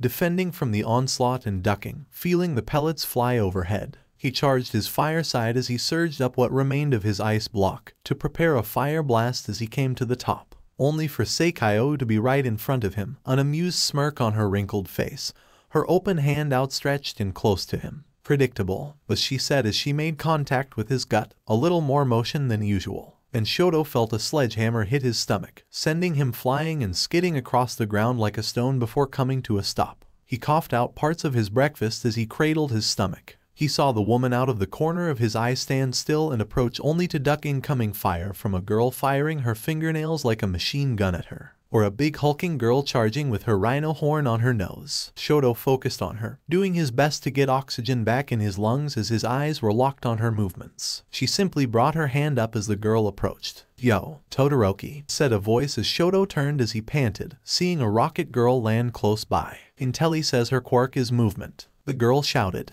The less she moves the stronger she is. Shoto blinked. What? But? What? How? The girl cursed. Reaching into her pocket she fished out her phone before holding it up to him. It was a picture, a picture of a note that he recognized Intelli's handwriting on. Quirk based on stored kinetic force. Less movement equals more stored force. It's why she doesn't move unless necessary. All might light while still, weak while moving. Shoto read the note, the flow of the fight making it ring true as he examined everything that had happened so far. So we make her move, and she can't use her power. Yo Todoroki. He heard a familiar voice as he climbed to his feet, seeing Kirishima and Tetsu Tetsu approach at a run her quirk, its movement, or rather lack thereof. Shoto shouted as the winged girl took off and the other two boys joined him. She is capable of incredible strength, but it can only be done with the least movement in any body part, like a reversal in kinetic physics of some kind. Yeah, Kendo got word. Tetsu Tetsu said, she says she's got a plan. Shoto nodded okay. Fire and cold erupted from his arms. Let's go. Oh man, I can feel that fighting spirit, Todoroki. Kirishima grinned ear to ear. Let's take her down. Manly style. He charged, Todoroki surging with ice right towards Seikayo. Can you handle fire? Shoto asked. I can. Tetsu Tetsu was in a dead sprint and Shoto aimed upwards as he made a glacier to push up and over. He turned in midair, releasing a fire stream aimed at the ice mountain he had made, his fire boosting his momentum as he swallowed his left side in an inferno, giving him air as he smothered the Class B metal boy in it. But Tetsu Tetsu was right in the thick of it, the heavier and dug-in metal boy who had bent towards the ground to let the gale winds, flame, and steam pass over. They charged right through the steam, smoke, and debris of it all. Kirishima reared back for a punch, and a red-hot Tetsu Tetsu did the same, roaring as they charged. Seikayo didn't look phased as she dodged the strikes from the two boys, even as Tetsu Tetsu's smoldering heat made her back away to avoid the burn. No doubt she was trying to use as little movement as possible for her quirk. Seikayo unleashed a slight backhand and sent Kirishima stumbling across the ground. Tetsu Tetsu kept on coming at her, still blazing orange. Now she looked annoyed. She stepped on the ground which burst like an egg, tripping the iron-skinned teen mid-charge. Then, from under the earth behind her something burst out,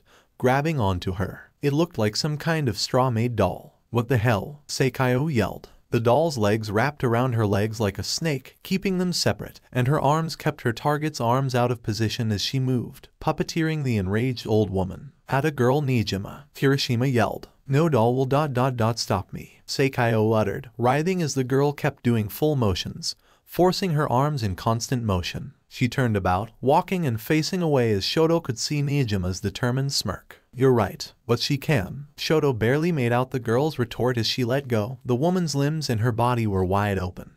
The old woman stumbling forward towards the crater Nijima had burst out of, and the ground under her erupted again, a massive fist exploding outward. It collided with Seikayo's jaw, her head whipping back as Kendo Itsuka roared out with her enlarged hand, the redhead being pushed up by some mole person. With a battle cry, Kendo then reared back her unused left hand and grabbed onto the villain, her limbs in her fingers as she came down with a ground-pounding blow, the old woman's face catching the brunt of the blow. Down you go, Kendo yelled out, subduing the villain. Practical exam section, school attack. Complete. Villain group, Hateful Eight. Captured and neutralized, said the electronic voice over the loudspeakers as cheers began to break out. Saitama Kyoyuka flexed and stretched her neck, looking back at those kids as they marched out. They came in far more bloated numbers than anticipated, which gave her the green light from that sleepy-eyed dog in mirror to not hold back one bit. You knew my old man. Seikayo turned, seeing Todoroki turn as he finished his talk with Kendo, the girl looking her way as well. You mentioned him quite a bit. Yes, Todoroki Enji was a former pupil of mine. The old woman replied, the villainous nature gone as she stretched her arms a little. Came to me for training here and there when he was a bit older than you. Truth be told I was enjoying retirement quite a bit until I saw you at the sports festival last April. She smiled lightly. You are making greater strides now than your father ever was. She turned towards the other kids as they approached. Keep getting stronger in your own way. I plan to. Todoroki nodded.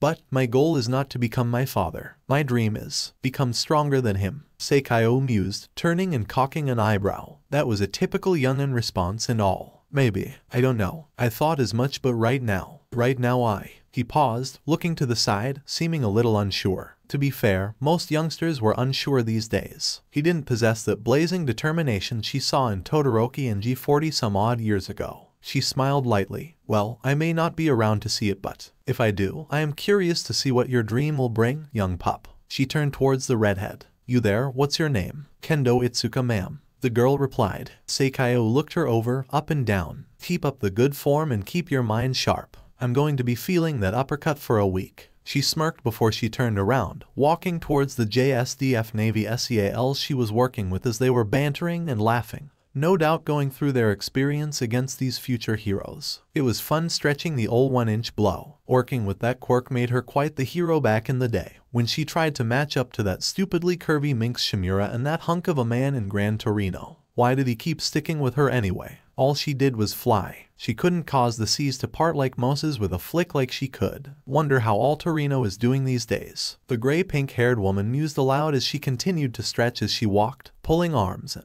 Urk, and she felt a bone creak and she winced. Oh, there it is. She rubbed her back. I wonder how Enji-kun is doing. Take the eyes. Ah Ochako came down with a yell, hand on her light as a feather plank of wood as she charged, bashing it across Endev Entei. It's Entei. Entei's head. The man didn't stagger or stumble. There was even some shock, his sidekick Bernie Lady Suzaku turning with a wide-eyed look, along with several of her teammates. One second, two seconds, three, and Ochako felt her stomach turn to heavy lead as she saw the man on fire turn, eye and lip twitching and blood dripping from his crown as he recognized her. His eyes seemed to burn even hotter as the brunette felt the temperature rise in the room. Phew, Endeavor snarled, and she wasn't aware that his eyeballs could light on fire. It was absolutely terrifying. Eh, eh, eh. She laughed nervously. A part of her wanted to say sorry. The bigger part of her wanted to run. She listened to that bigger part of her. Um, sir. Kamaji Mo turned towards her boss as they took on the roles of vice boss and boss of the Entei Yakuza for the provisional license examination for the HPSC. Shouldn't we handle the rest of these heroes? We do need to set the building on fire for the insurance. She hit me with a plank, Endeavor growled, and he took off like a bullet, somehow even faster thanks to Uravity's quirk. Get back here, girl. Somebody help me. Came the girl's wail as Mo sighed in sympathy. No one needed to be on Endeavor's bad list for the day. Did he have a history with the round-faced girl? Welp, Mo turned, and Vernon smirked as her green hair spotted the enemy heroes now focusing back on her after seeing that display. Alright then heroes, try and stop me if you can. Her hands turned to emerald flame, and she charged into the fray. A horned girl with bright yet determined blue eyes and blonde hair stared her down and charged, standing on two horns with three others floating beside her surging forth. Oh playing chicken, bring it on, foolish children, Jeanist muttered, and with a tug of his arm, he brought the entire cavalcade of youths with him like how one would pull clothing bound together from a washing machine. Boys and girls yelling in surprise as they were tugged out, like links in a chain. That fast, this is the number four hero, Setsuna thought, fear and the awaiting doom of failure looming down on her. Parts of Jeanist' denim attire along his sleeves were gone, but the threads were growing tight all around them, and they were all trapped. Now, die with the bureaucracy that holds our country duug. Jeanist' monologue was cut short, and the man was frozen, eyes wide as he seemed unable to move. Best G Trimmer, who had the door open, turned his head. Don't look towards me. Stick in the canister, Jeanist uttered, his entire body stiff and his eye wide. In the vent, these heroes dot dot dot have a paralysis quirk. Hell, not bad, Snakeface. The gorilla boy uttered. It's Habuko, the lizard girl uttered. Can't blink Kaminari, you in position. You bet I am. Kaminari, who was bound but had his arms outstretched with his fingers aimed in. Some unique gear on his hands too. How about this? 1 million volt stream he yelled, and from the gloves he possessed, a bolt of electricity raced out and struck Jeanist. Jeanist was blasted with electricity, the man shaking as he fell to his knees, his denim singed. Ha, idiots, with Jeanist between me and you. Trimmer yelled in front of the ventilation shaft, one large enough for that canister to be placed in and activated. You can't hope to get me. Nah, Kaminari's voice held a smirking edge. Just needed to distract you for a second. Before the villain could ask, there was a massive crash. Trimmer turned, and immediately dropped the canister and brought his hands up to defend himself. As a giant water dragon burst through, with Yaoyorozu riding on it. A paintball rifle was held up in her hand like some action movie star, and Tokoyami was right behind her with Dark Shadow conjured and pinning him. Light him up. The dark monster shouted. Setsuna mentally cheered as Trimmer was slammed into the wall by Rivu, and Momo landed on her feet, pelting the minion with paintball pellets galore. Setsuna couldn't see from her angle, but the shouts of pain and anger made the greenette feel good deep down. and there was a sudden shout of pain from Habuko, Setsuna unable to turn around to see why. But it must have been the linen Jeanist had under control affecting her sight, making her unable to look at him. The man turned around, and both arms were outstretched as the denim from his costume sleeves remained on the kids who came up with Gorilla Kid, Habuko, and Kaminari. The denim from his leggings lashed out towards the other end of the hall, and got Tsunami, Yaoyorozu, and Tokoyami. What the devil? Tokoyami shouted. Sleeves and shirts may be my proficiency when it comes to manipulating clothing and fabric, but I can assure you, every piece of linen upon my person, Jeanist spouted, and upon my foe is my weapon. He clenched his fingers, and Setsuna yelped, feeling the yarn tighten around her. She could hear the groans and cries of discomfort from the ones behind her. Te Kaminari, Setsuna shouted. Can't dot dot dot my hands they're jammed. I'd get all of you. Gionanangh. Do it. Gorilla shouted, as a few others agreed. We can take it. I am not going to fail. Not no way, not no how. Why you sure? Don't. Habuko shouted. There's civilians in this room. Setsuna panicked, and she heard a gasp from the other end as she turned as best she could. It was Yaoyorozu. She must have been surprised that some civilians hadn't been evacuated yet. A pity, Jeanist spouted as he walked calmly towards the end of the hall, keeping a bound Tokoyami in dark shadow pinned to the ceiling near the lamp, and Rivu against the wall with Momo at an awkward angle. Setsuna felt that pit of despair slowly return. Damn it, they even got the drop on him. But, sadly, heroes, he said as he got to the door, his eyes looking down the hall and focusing the attention on the heroes. I win. He opened it wider and, a floating fire extinguisher. It came down with a girlish hia. The extinguisher clocked Jeanist right in the head. Hard, a collective, duo, spoke out from the crowd. What the? Setsuna uttered as Jeanist stood and stood and fell right on his back, a large welt on his crown and his eyes rolled back. Immediately, all of the linens became loose, and the students let out a sigh of relief. Tokoyami fell and landed on his feet, Rivu transformed back into her human state, and Momo landed on her feet. The fire extinguisher was still floating over Jeanist. Hagakure. Hagakure beat best Jeanist. Setsuna felt a little faint.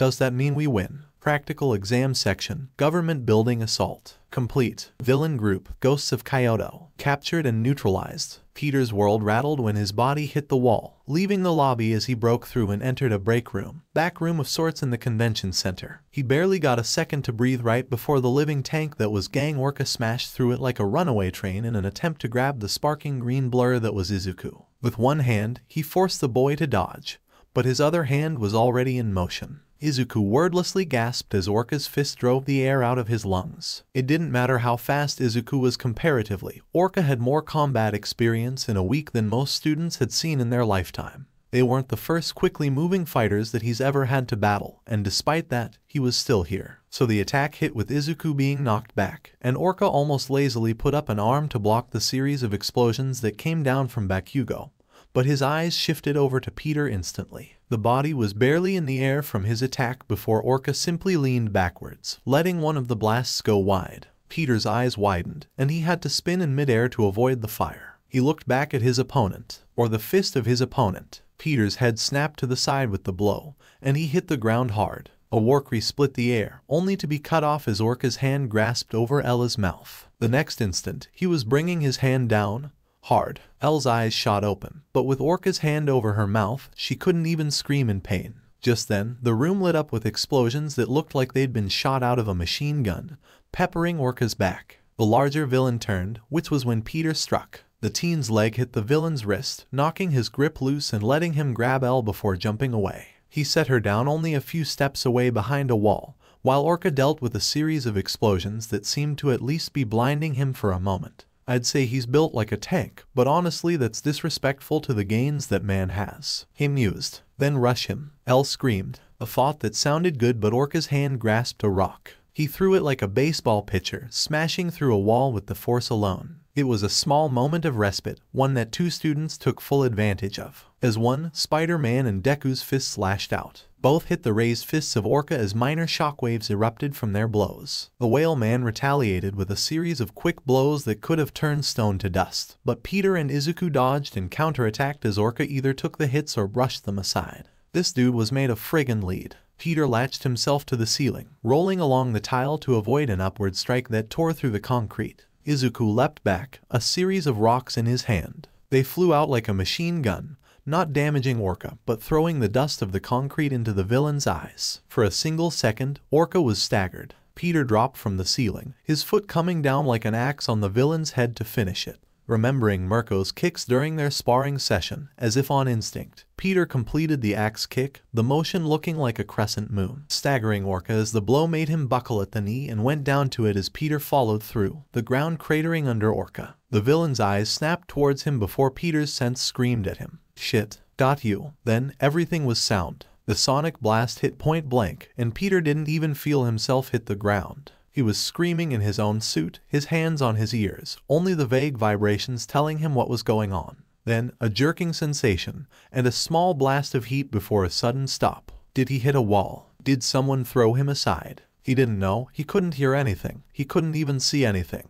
He grit his teeth. He needed to get up. He needed to help. But he couldn't, so he laid on the ground, trying to get up. His arms and legs felt like jelly. God, was this what being a newborn horse felt like? Peter shook his head, trying to force his eyes to focus. The HUD on his suit was working overtime, and he saw Elle holding him. Retreat for now. Thanks, Peter tried to utter in English as his entire body was on fire, and it probably sounded more like a groan. Elle's head tilted, and Peter felt gravity take him. He nearly hit the floor face first, only being stopped by a quick hand. Though, he still hit the floor through his hand, so not the best result. Oh, Elle, for her part, didn't really care as she charged forwards to the battle. Orca stood in a maelstrom, Izuku weaving in and out for quick hits, roaring all the while as lightning arced around him. Bakugo peppered the villain from a distance with explosions, roaring with Izuku as well. Elle jumped right in, ducking just under a backhanded swing from Orca, throwing a fist towards his face. A fist where bones jutted out of the skin, sharp singular points going straight for Orca's eye. Peter could see his eyes widen, but his other fist hit her dead on the chest. She skipped once, then flipped, and charged again,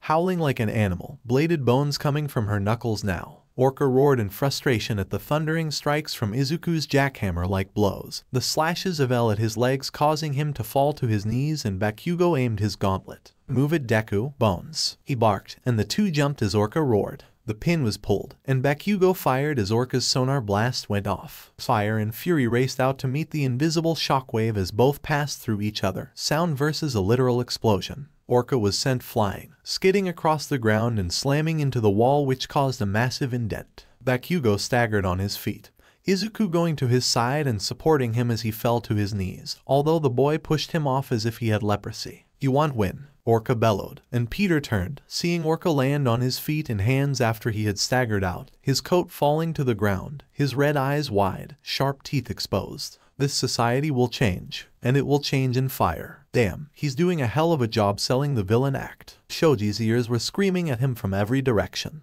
The fight with Orca was destroying the building like children knocking down sandcastles, and his own situation was barely any better. The villain minions weren't strong, but there were a lot of them. As if to emphasize his point a globule of pinkish foam splattered across the edge of the corner he was using as cover and he could hear more of them moving into position under their allies covering fire. Shiozaki arrived, but he could see several strands of her hair getting clumped and stuck together by the now hardened cement like foam coating them. The civilians are finally clear, she shouted. Shoji nodded. Good, one less problem. Now all they had to do was beat the villains. We're really running the clock here. We may not have time to disarm the bomb. What do we do? Shindo yelled. The multi-armed boy bit down a curse. Right, the bomb. I have a plan, Shiozaki said, and Shoji turned, as did everyone else. What is it? He inquired and the girl smirked lightly. My classmate Tsunotori passed our final of bomb disposal by carrying it away using her horns. I will attempt the same, but I will need time. She had a suitcase bomb. That bomb is attached to that vehicle however. He heard yelling and saw Elle skid across the ground before getting up with grit teeth and sheer spite, her eyes flashing. A fresh volley of fire forced them all to duck back into cover. Shiozaki looked at him. If much more of my quirk gets tangled up I won't be able to get rid of the bomb. He nodded. You all heard her. He shouted. We're punching through them and getting her to that tank. Right on. Shindo gave him a thumbs up. Let's kick their asses. Utsushimi, stay back, make a glamour cloud to give us cover and make illusionary clones. Can do. The air-headed blonde brought her hands to her lips, blowing out another kiss. More rainbow-like mist escaped, forming around them and expanding as mirage-like doppelgangers of Mezo and his teammates appeared. The multi-armed boy ran first, the army of clones all around him, Shindo, Utsushimi, Shiozaki, and Monoma. They bolted across the lobby under the cover of Shiozaki's vines and Utsushimi's illusions, bypassing the battle against Orca entirely as they charged the soldiers. He expanded his arms as far as they would reach, using them as large, fin-like shields, providing cover to the others behind him. The clones began to dissipate, little more than dust and sound but it was enough. He slammed into the first group of men like a rampaging train, arms lashing out, cracking helmets and sending grown men flying. Shiozaki's vines darted around him, slapping away rifles and tripping soldiers as they tried to line up a shot. Shindo and Monoma's quake sent whole walls of jagged stone up as obstacles and shields, cutting off enemies from their sightlines and covering positions as Shoji rushed with Ibara towards the tank. Approaching the tank, Shoji heard the danger before he saw it giving him enough warning to dive into cover as a line of soldiers emerged from the rubble in a crude firing line, laying down a volley of faux bullets and pink foam that caught Monoma with a startled scream. He went down before Shindo could quake another wall into existence to shield them. The drill tank started to move, its motor roaring as Caterpillar treads adjusted its position providing a mobile cover platform for the soldiers to advance. Mezo's ear twitched, and he heard the crunch of something coming closer. The muzzle of a gun came around the side of his cover, the soldier trying to flush him out. The white-haired boy's hand snapped up, grabbing hold of the gun and squeezing it for all he was worth. The metal crumpled in his hand, and the bullet that was about to be fired jammed in the barrel. Surprise let Mezo rip the gun out of his enemy's hand and use it like a baseball bat. It cracked against his head, throwing him down, and in the same moment, he turned and threw it. Metal cracked against the metal of a helmet belonging to another armored minion that dared to come around to his position. Another groundquake, and this time, when Shoji heard the rocks spear out of the ground they were accompanied by the sound of rending metal and groaning steel. Men screamed, and he dared to look around the cover he was standing behind to see a lance of obsidian goring the tank like a boar. Its drill pointed up, and its caterpillar tread spun uselessly as it was hoisted off the ground to the point of nearly tipping sideways. Rush them now, he shouted. He didn't care if he was heard. He wasn't even sure how many of his own teammates could follow up on his orders. All he knew was that this was probably their best chance. He charged in, leaping across rubble and debris to close the distance as the men tried to find their feet. Then he was on top of them. His arms were moving again, rapid-fire punches taking down six men before he had to grab one and use him as a shield. Vines slammed into a cordon of people across the firing line and more groundquakes opened up fissures and crags in the earth that sent men reeling. Mezo heard a call, and his head snapped towards the tank. The men were regrouping, focusing their foam guns and stun guns now that their men were no longer in the friendly fire zone. The tall boy tensed, ready to move, only for Vines to appear in front of him. They were shredded in the stun bullet hailstorm, but they were stopped just barely enough. Mezo moved back behind cover as Shiozaki moved her arms. Repent, she said, cold enough that even the white-haired boy felt a shiver down his spine. Before he could even ask what she was doing, he heard the screams. Shiozaki's vines came down like tentacles, wrapping around the remaining men. Their guns were ripped out of their hands, and the men were pulled up into the air, dangling and yelling before she threw them all aside in different directions. Shoji didn't even take a second to congratulate his classmate. The bomb, he shouted, rushing to get to the tank's top hatch. Who knew how much longer they had? He had an eye glance towards Orca. He was being assailed on all sides with Midoriya and Elle up close. Parker fired web bullets at a distance but he was limping, and Bakugo was going back and forth. They were applying pressure, holding him, before he made it though, Shiozaki's vines snagged him, holding him back. Don't concern yourself, she said. I've got it. He was confused, but only for a moment. Vines moved from the men sheet incapacitated to the tank itself, coiling around the large transport vehicle like serpents. Shoji's eyes widened, hearing the metal groaning under a steady, crushing pressure. Like a tin can it actually began to buckle, bolts and divots breaking off like bullets, more of Shiozaki's vines taking hold of the machine and crumpling it like a can. Then it started sinking. Shoji didn't feel the ground shaking beneath him, but rather saw more vines travel into the breach, literally splitting the earth under the behemoth transport and pulling the thing underground. Like a massive, chewing maw the vines crumpled the metal and forced it downward with a steel groaning crunch, other vines shoving debris and earth on top of it. In 30 seconds it was buried, or crushed, or both. Shoji made a mental note that if Shiozaki was ever mad, don't bother looking for a body. Practical exam section, building assault, complete. Villain objective, bombing, unsuccessful. Civilian status, evacuated. Said a robotic voice. Shoji Mezo heard that, and for the life of him, he just let his head fall back. It was done. Well done, said a rather deep voice as Izuku turned. Orca was brushing off some debris as he turned towards the heroes. He had lost his cape. His suit was in tatters and there were some visible bruises on his body, but otherwise he sounded fine. You managed quite well given the circumstances. The whale hero mused as some of the minions who were pinned or lying prone rose back to their feet. Izuku also saw medical robots emerging to treat any injuries. Will your men be okay, Mr. Orca? Izuku inquired as Orca turned, his red eyes no longer filled with rage but a calm stoicism. They're getting hazard pay and they were all aware of what they were signing up for, the number 10 ranked hero said as he turned, as did Izuku. Kacchan had his hands on his knees while keeping his head raised, legs shaking and covered in sweat as Orca walked over to him, picking up his coat along the way. He reached into his pocket and pulled out a water bottle that was able to survive through all of that. Here, he offered it to him. Drink up. Kacchan scowled miserably as he took the offered bottle and started chugging. The pro hero took a second before marching off. Izuku got up to his feet and walked over. We did great Kacchan, he said lightly, finally able to relax. You were incredible back there. I didn't beat him though, he growled, crushing the now empty bottle in his hands. But we stopped him didn't we? Izuku flinched as he felt the boy's glare. And we saved all the civilians too. I think All Might would consider that a win, right? HNM. He scoffed, looking away. Whatever you say, nerd. He sulked off, and Izuku felt unsure as he watched his friend's back. We passed, didn't we? Camie asked as she sauntered up.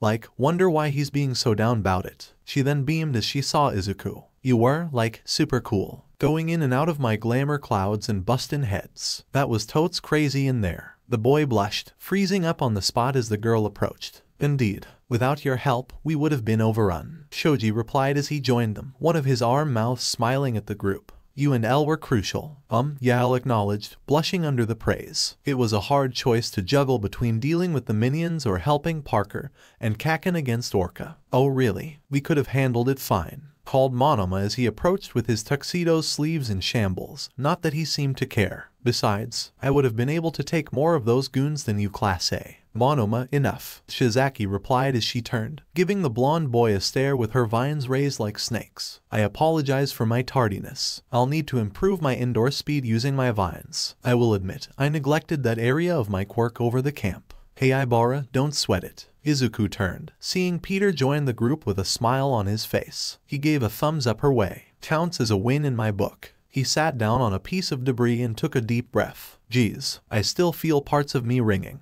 From that shockwave you took, Izuku inquired. Just gotta move a bit. Kinda like trying to recover from parts of your body falling asleep. Peter said as he wiggled his toes in his shoes. Still, I'm glad we were able to pass this. Not yet, Elle replied as she was being supported by Shindo her arm over his shoulders. Still gotta be graded. Oh right, the point system, Izuku muttered, his anxiety starting to flare up again. All applicants who have completed their exams, please look to the scoreboard within your assigned stadium. Your point totals will be displayed there. Boomed a robotic voice as everyone looked up. The scoreboard is outside, Shoji said as he began to walk through the ruined battlefield that was the convention center lobby. Let's go. They arrived outside, gazing up at the scoreboard hanging above as they made it to an angle to better see it. It flickered on. Punita, Tynan my number. Elle cursed, looking away. Shindo gave her an assuring pat on the shoulder. What did she say? Peter whispered as Izuku turned, shrugging as he looked for his own score. Team White 4, Bakugo Katsuki 47 points, Laura Logan 69 points, Midoriya Izuku 74 points, Monoma Neito 38 points, Peter Parker 58 points, Shiozaki Ibara 81 points, Shindo Yo 73 points, Shoji Mezo 87 points, Utsushimi Camie 56 points, complete 89% pass. A cute All Might face with a thumbs up was displayed at the end as Izuku gave out a big smile,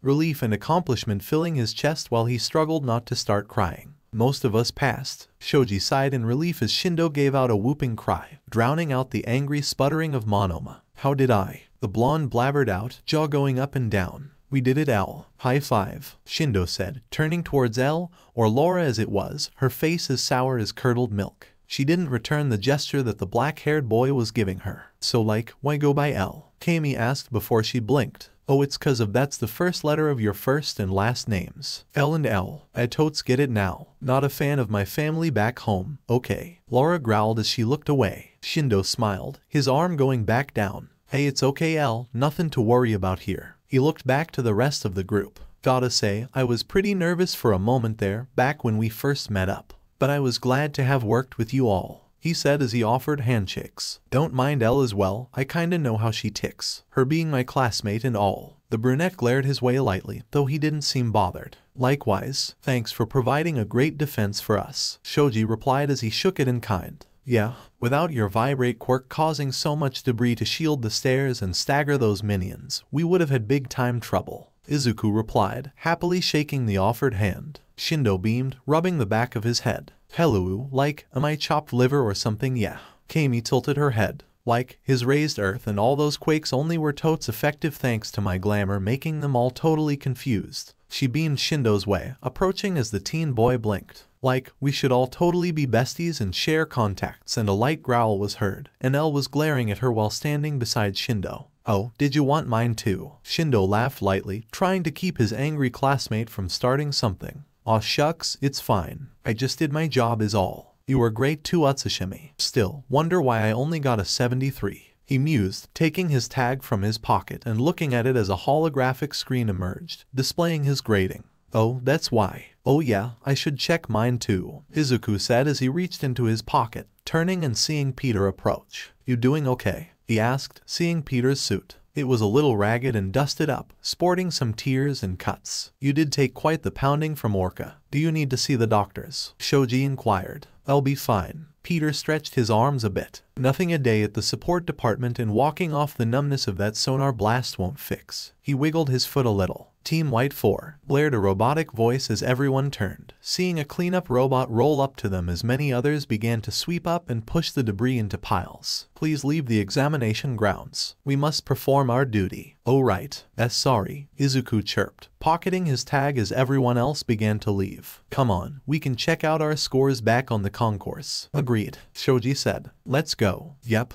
Peter placed his own tag back on his shoulder as Izuku looked his way, seeing him put his mask on. His eyes were narrowed as he rubbed the bridge of his forehead, his one visible eye closed. Damn it, that score, he muttered in English, enough for Izuku to hear. See what your score was about? Izuku asked. Yeah, he muttered, his eye looking towards the still silent Bakugo and glaring lightly before he sighed. Still, we passed. Can't complain. Yeah, don't worry about that. Let's not fret on that stuff anyway. Shindo added. 7 out of 8 passed. I'll take that as a win. He looked back, the pale and mumbling Monoma still staring angrily at his tag. Needs babysitting, Monoma said aloud, aghast. Shiozaki rolled her eyes as Izuku winced a little. Monoma was very rough to handle. Without Shiozaki, research would have been difficult, working with the malcontent, if not impossible with him egging on Bakugo and Peter's feud. Still, a part of Izuku did feel bad. He contributed a good deal in helping the civilians. Let's go Monoma. You shouldn't cause more trouble than you have already. She muttered. I hope you will take this as a lesson moving forward.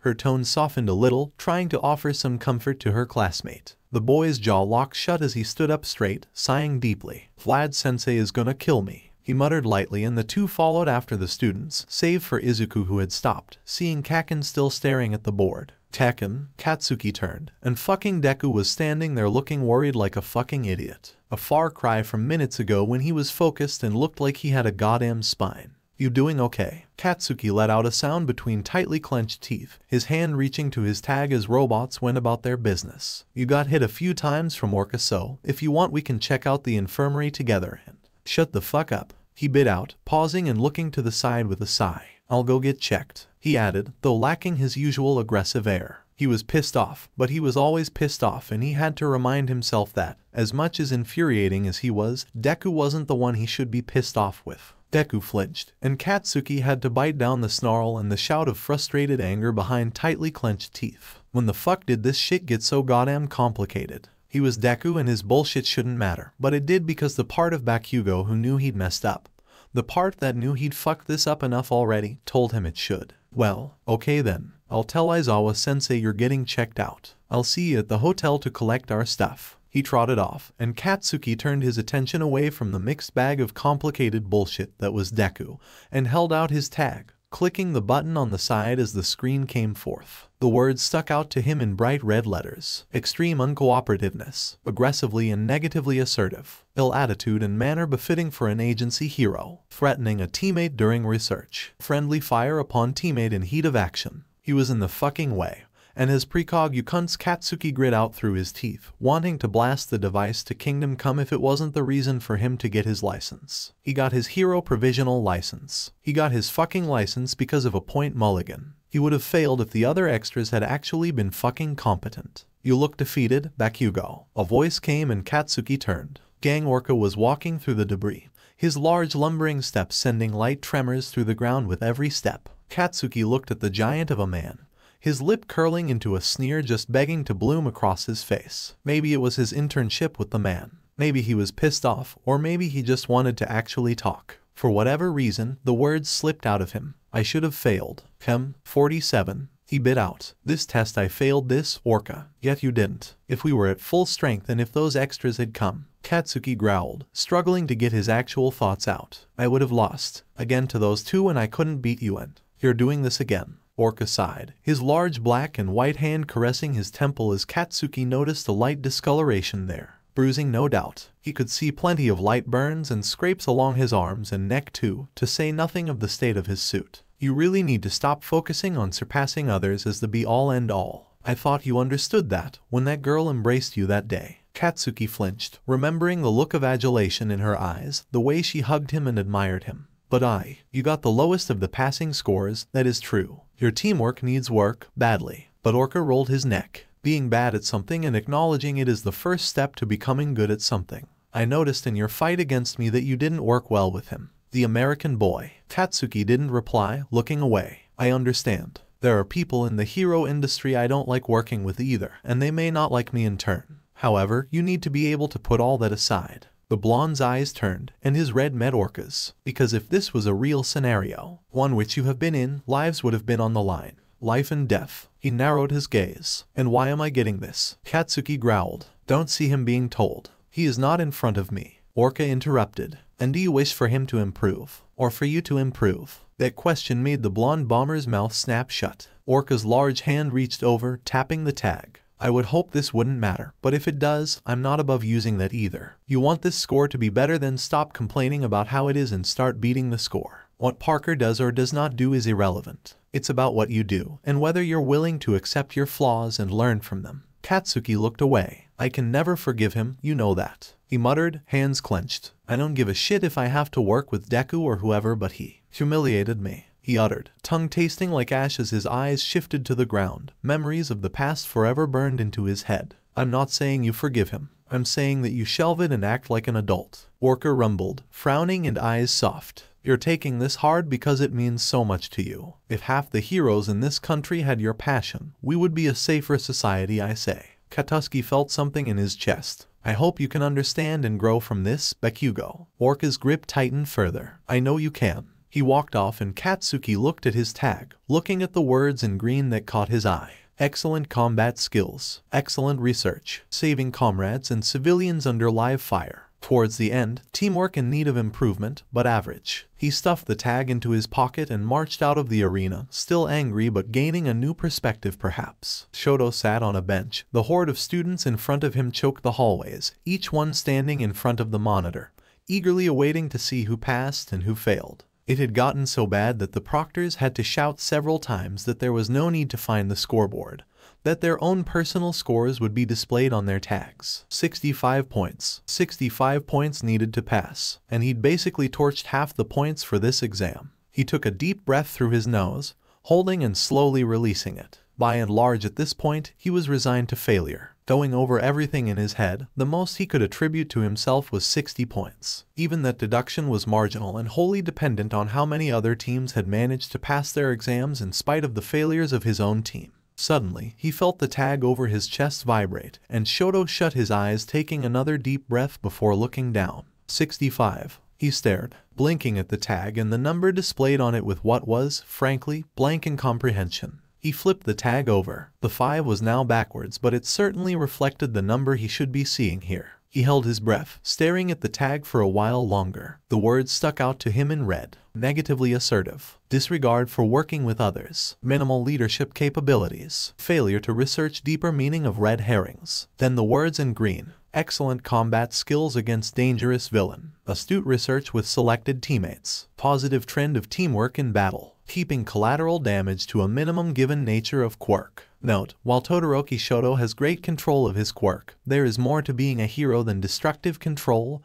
and assertiveness. Observers note his desire to go forwards and continue pushing. While ambitious is not conducive to a team environment, but the drive to improve is there and can be cultivated. Looking over those words a few more times, he let out a puff of air that was almost a wheeze, not quite a laugh but not wholly relief either, more like sheer disbelief being expelled with everything else. He'd passed, by the margins, with absolutely no points to spare. But he passed. Shoto shut his eyes, hands coming up to rest his forehead against them almost like a prayer, with his tag hanging between his nearly slack fingers. Slowly he let the breath leave his lungs. He wasn't sure how long he sat there before he got to his feet. The pounding of his heart was sending blood throbbing across his skull and making his head ache something fierce now. Even so, he moved to seek out his UA classmates. There were a lot of tags in red, indicating a failure. They outnumbered the greens by what he suspected at a simple glance to be a significant margin, and most of those greens were certainly not from his agency. He spied Intelli across the room with several of her girls now clustered around her. A pleased smile decorated her face, green tag now firmly in her hands. She caught his eye, smirking as she held up the sign of her unexpected victory. He did the same, nodding once before he saw her return to her conversation. He kept walking. Kirishima and Tetsutetsu let out a whoop of joy, so loud he couldn't help but find them near the front of the crowd. The stone and steel quirk users were grinning with sharpened fangs and pumped fists. They hadn't been part of his agency, but it was good for them. Finally, he spotted Kendo Itsuka. Kendo-san, he called, offering a possible congratulations. She turned at his voice, offering a small grin, one which quickly fell as her eyes trailed down. He went still. Her tag was red. Shoto's eyes widened, and what must have been the dumbest question he'd ever spouted in his whole life tumbled out of his mouth before he could stop it. Whose tag is that? She looked at him, and then spotted his green tag resting in his now tightly clenched fist, her face souring. Mine, she stated, her voice sounding completely flat and defeated, a far cry from her usual fire. Shoto shook his head. That's impossible. This has to be a mistake. Out of any of them, out of all of them, Kendo was the one who he believed deserved to pass. She'd been the one to pull even a semblance of a plan together. Hell, she'd been advocating exactly for what the goal of the test was from the very inception. She even got the finishing blow that took down Seikaiou. They must have known that, and if they didn't he was gonna make sure someone knew that. No mistake, she mumbled, shrugging, acting as though she'd already accepted the results. Shoto bared his teeth in a snarl, an uncharacteristic anger building in his chest like a flame. It is. If I passed then so did you. You. She looked at him, and the look was enough to make the words die in his throat even before she spoke. Her eyes were wrought with a storm of pain and anger. It's not a mistake. She held up her tag. 64 displayed bright and clear. Lack of assertiveness. Failure to correct teammates when they were heading down the wrong path. Several civilians shot in vicinity. Shoto's mouth was open while Kendo continued to speak, her self-deprecation hanging on every word. I'm a nobody. Hard to look at when it's someone like me. She shrugged, scoffing as she gave him a light glare. But I think someone up top can dig up an extra point or two for the son of Endeavor rather than some girl with big hands. The building flame in his chest suddenly turned cold, his eyes wide and mouth agog. Kendo winced. She gave another shrug, pained and torn, the hand falling to her side as she let out a sigh that sounded tired. Or perhaps defeated. I'm sorry, she said, that's unfair. He watched her turn and walk away, arms rising to hug herself. Kei Kendo wait. I, I'll see you around, Todoroki. She walked away, hands gripping her arms as she tried to avoid shedding a tear. Shoto stood there, still as a statue as the throng of students began to brush past him. The dual-haired boy could feel their glares upon him as he looked down. His fists clenched and for the first time in his memory, Shoto felt like he could have burned the whole of the stadium down. I can't believe I passed. Hagakure gushed, her license floating in midair. This is so awesome. I'm a legit pro now. Provisional, Kaminari added, though not taking his eyes off his own license. But I get what you mean. This rocks. We have taken one step forward into the unknown. Tokoyami muttered as he walked beside Momo. One that will make us into better heroes. Heh, I'm gonna miss your little broodingisms, Rivu said, petting Tokoyami on the head as the bird-headed boy growled. It's been a fun few days. She turned towards Momo and gave a toothy grin. You take good care of my little birdie, okay? I am not your bird, he growled out, a light blush managing to break through his feathered face. Awa, is that some pink I see on your cheeks? Kaminari oiled, grinning widely. Someone likes being pampered Hagakure added, and Momo had to stifle her giggling. Be silent. I am not someone to be looked at as some doting sign of affection. Tokoyami barked. But I am. Dark Shadow burst out of his cloak all of a sudden as Tokoyami sputtered, the creature embracing Rivu. Pet me, pet me. I'm gonna miss Yawu. All while I'll miss you too, Shadow-chan. Rivu cooed, happily patting the creature's head like one would a puppy. Dark Shadow, return to me this instant. Tokoyami ordered, even grabbing onto his shadow monster and trying to tug him back inside. His face red, either out of embarrassment or anger, or both most likely. Momo didn't care as she had a hand to her mouth. Obey your master at once. Ah, shut up. You liked it too. Dark Shadow barked, eyeing his master accusingly. He's totally your inner consciousness or something, isn't he? Or your true self. Rivu mused with a sly grin. Oh, I never thought of it like that. Kaminari said with a snap of his finger. That's super deep and cool. I wonder what my own dark shadow would be like. Probably someone dumb and goofy, Hagakure said as her gloves pointed at him. We do you? Eh? T, that's not true. That's not my inner self. As Momo looked back at her bickering classmates plus Rivu, she saw Habuko and Romero talking excitedly as they walked towards their end of the concourse. They noticed her look and waved, Habuko with a wide grin while Romero was playing it cool. Momo's eyes wandered, seeing Ikari talking to a marching Shishikura, the man stomping as if he was on a warpath, and ignoring everything his much larger peer was trying to say. No doubt due to that of the entire group who stopped Jeanist and his men, Shishikura was the only one of the group who failed.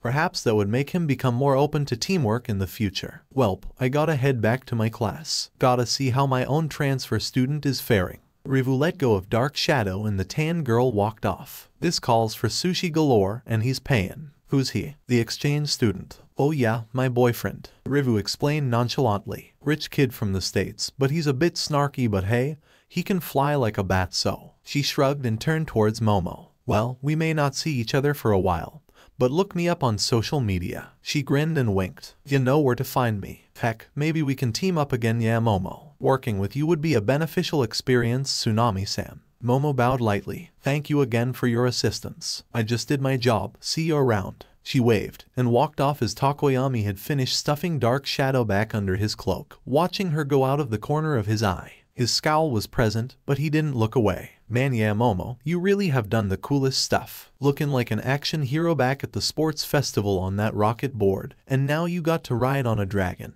Kaminari exclaimed. What's next? Going to outer space or something? I bet Yaomomo can totally make a rocket to go to space. Hagakure chimed in. I doubt she can with her current materials. Maybe over time though. Tokoyami added in, relieved that the embarrassing situation had been resolved. Momo giggled. A fun assessment. I'd have to look over necessary components of a shuttle or ICBM missile or some kind. But for now her stomach rumbled. I'll need to grab something quick to eat after I get changed and showered of course. Whoa boy, talk about an exam. Takami Keigo, also known as the Winged Hero Hawks, mused as he sat in the VIP area of the main stadium complex. All around him were countless TVs showing various clips of the exams that took place. He was brought on reserve in case Olmira wanted to switch things up, but in the end he wasn't needed. That said, watching Endeavor and his sidekick Burnin engage with that hero agency group was entertaining. That brown-haired girl lured Endeavor away and was on the run constantly parkering through hallways and stairwells as the man seemed to be hellbent on teaching her a lesson. All while her comrades managed to overwhelm Burnin and save the building from burning down. Flame Emperor Mafia Don and his number 2, handled by children. It was quite amusing to Hawks when Endeavor realized it and tried to blaze back to his number 2 before the time ran out and other pro heroes had arrived for the technical victory condition. Still, why would Endeavor seem to have it out for that round-faced brunette girl anyway? What did she do? Insult his mother or something?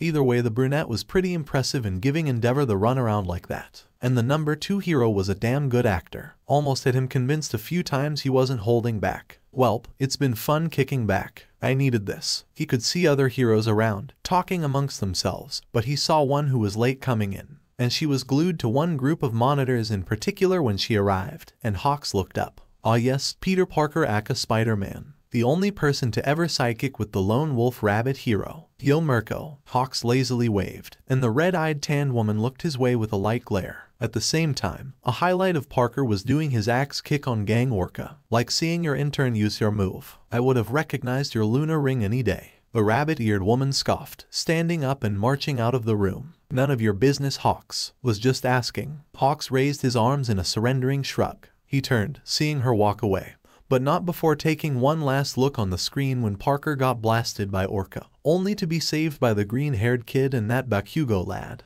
She muttered something under her breath, and Hawk's little feathers picked up on it. Should have webbed out of there. And she left the room. The blond man smiled, turning back as he got his phone out. He definitely spotted some useful prospects here. Hero patrols could be a bit of a dull drag most of the. He made a call. Yo, he said, mind putting an offer towards the Tsunami Rivu gal. Kairyu is her hero name. His eyes went to a screen, seeing the girl glomping dark shadow while Tokoyami looked like he was going to explode. Yeah, send an invite for a work study to her. She's a little older but hey, she'll add some much needed variety to our agency. Feeling better? Karen asked in his ear. Yeah, Peter replied under his breath as he finally sat down in the cafeteria. Felt some feeling back in my fingers again. That sonar blast did a number on me. But, that score I got, he got in the 50 seconds all because of Bakugo as he remembered the notes. Failure to dissolve tense situation, if not encouraging it. That was the biggest one highlighted in red. Sure, there was an unsafe handling of civilians, procrastination during investigative period, or put in vulnerable position to be saved in battle. He got that but, Peter sighed, rubbing his forehead.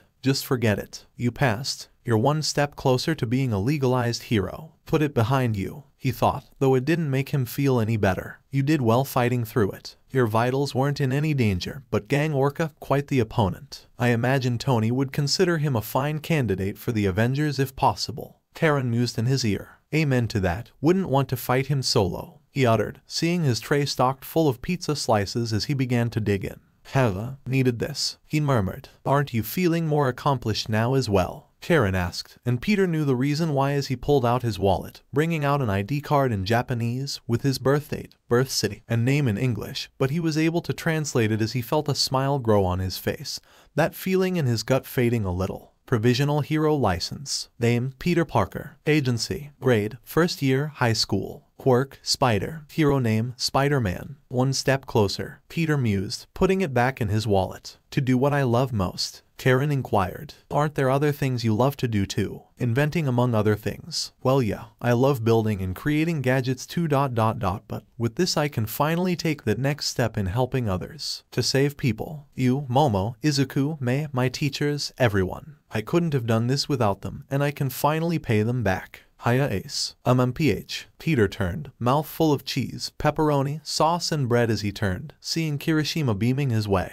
Mind if we join ya? Beside him was Shoto, both carrying trays. Peter swallowed and nodded. Shoto's eyes were on the ground. By all means, he gestured. Shoto looked rather neutral, as always, as he sat down with his bowl of ramen. Kirishima had a tray chock full of meat. So, how did you guys do? I passed. Kirishima exclaimed as if on cue, at the same time. Me too, Shoto said ruefully, and Peter paused in his bite, looking at him in surprise. Congratulations man. Are you okay? You kinda look pissed off about passing. I am. Shoto suddenly snarled, eyes widening which made both Kirishima and Peter inch away before he seemed to calm himself, sighing.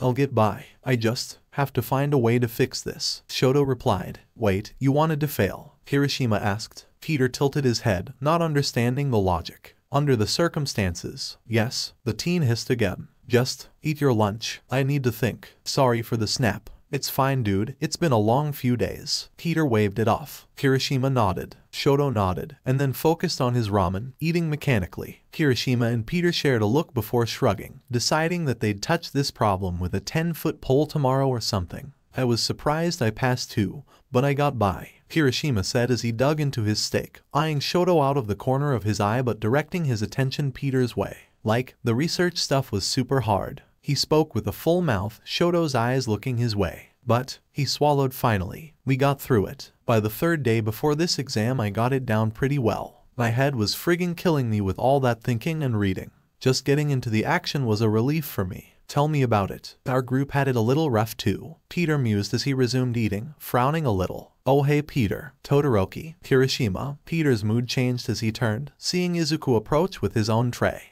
Beside him, Momo was approaching with two trays worth of burgers, fries, and rice bowls. Whoa. Yaoyorozu with a meal of champions. Kirishima uttered as the two joined them at the table.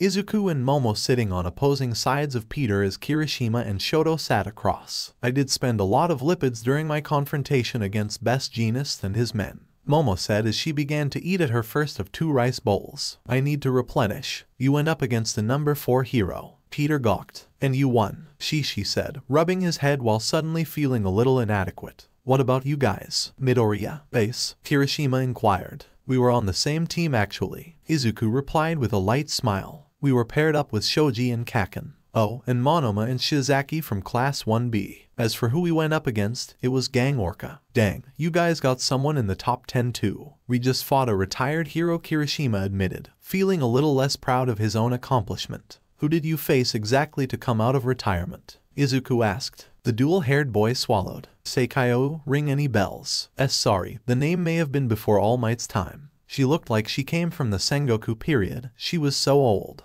But man she was manly too. Kirishima exclaimed, fists pumped up and grinning. Like fighting all of us at once and not even moving from her spot. I can't imagine what she was like in her prime. It's not very proper to comment on a woman's age or call them manly Kirishima. Momo admonished him as she finished her rice bowl. Yeah, gotta keep a filter on that, dude. Peter remarked with a light smile as he finished up his pizza. Kirishima looked a little bashful as he rubbed the back of his head. He set his phone down and looked up, seeing Yu's message. Hey Peter, heard you took your exam. When you get home, let's go out for Teppan. Peter beamed, typing back. You got it Yu. See Yu in a couple of hours. Talking to someone. Izuku asked and Peter looked up, grinning at Izuku. Just you is all. Going to get a celebratory dinner with her tonight. Oh yeah, when is Aizawa-sensei gonna pick us up? Kirishima's eyes widened as he brought his bowl to his lips and drank. We got a schedule. We have 30 minutes, Shoto said in monotone, poking his ramen aimlessly. He sent an email to all of us that he will pick us up at 2.30 and take us back to school.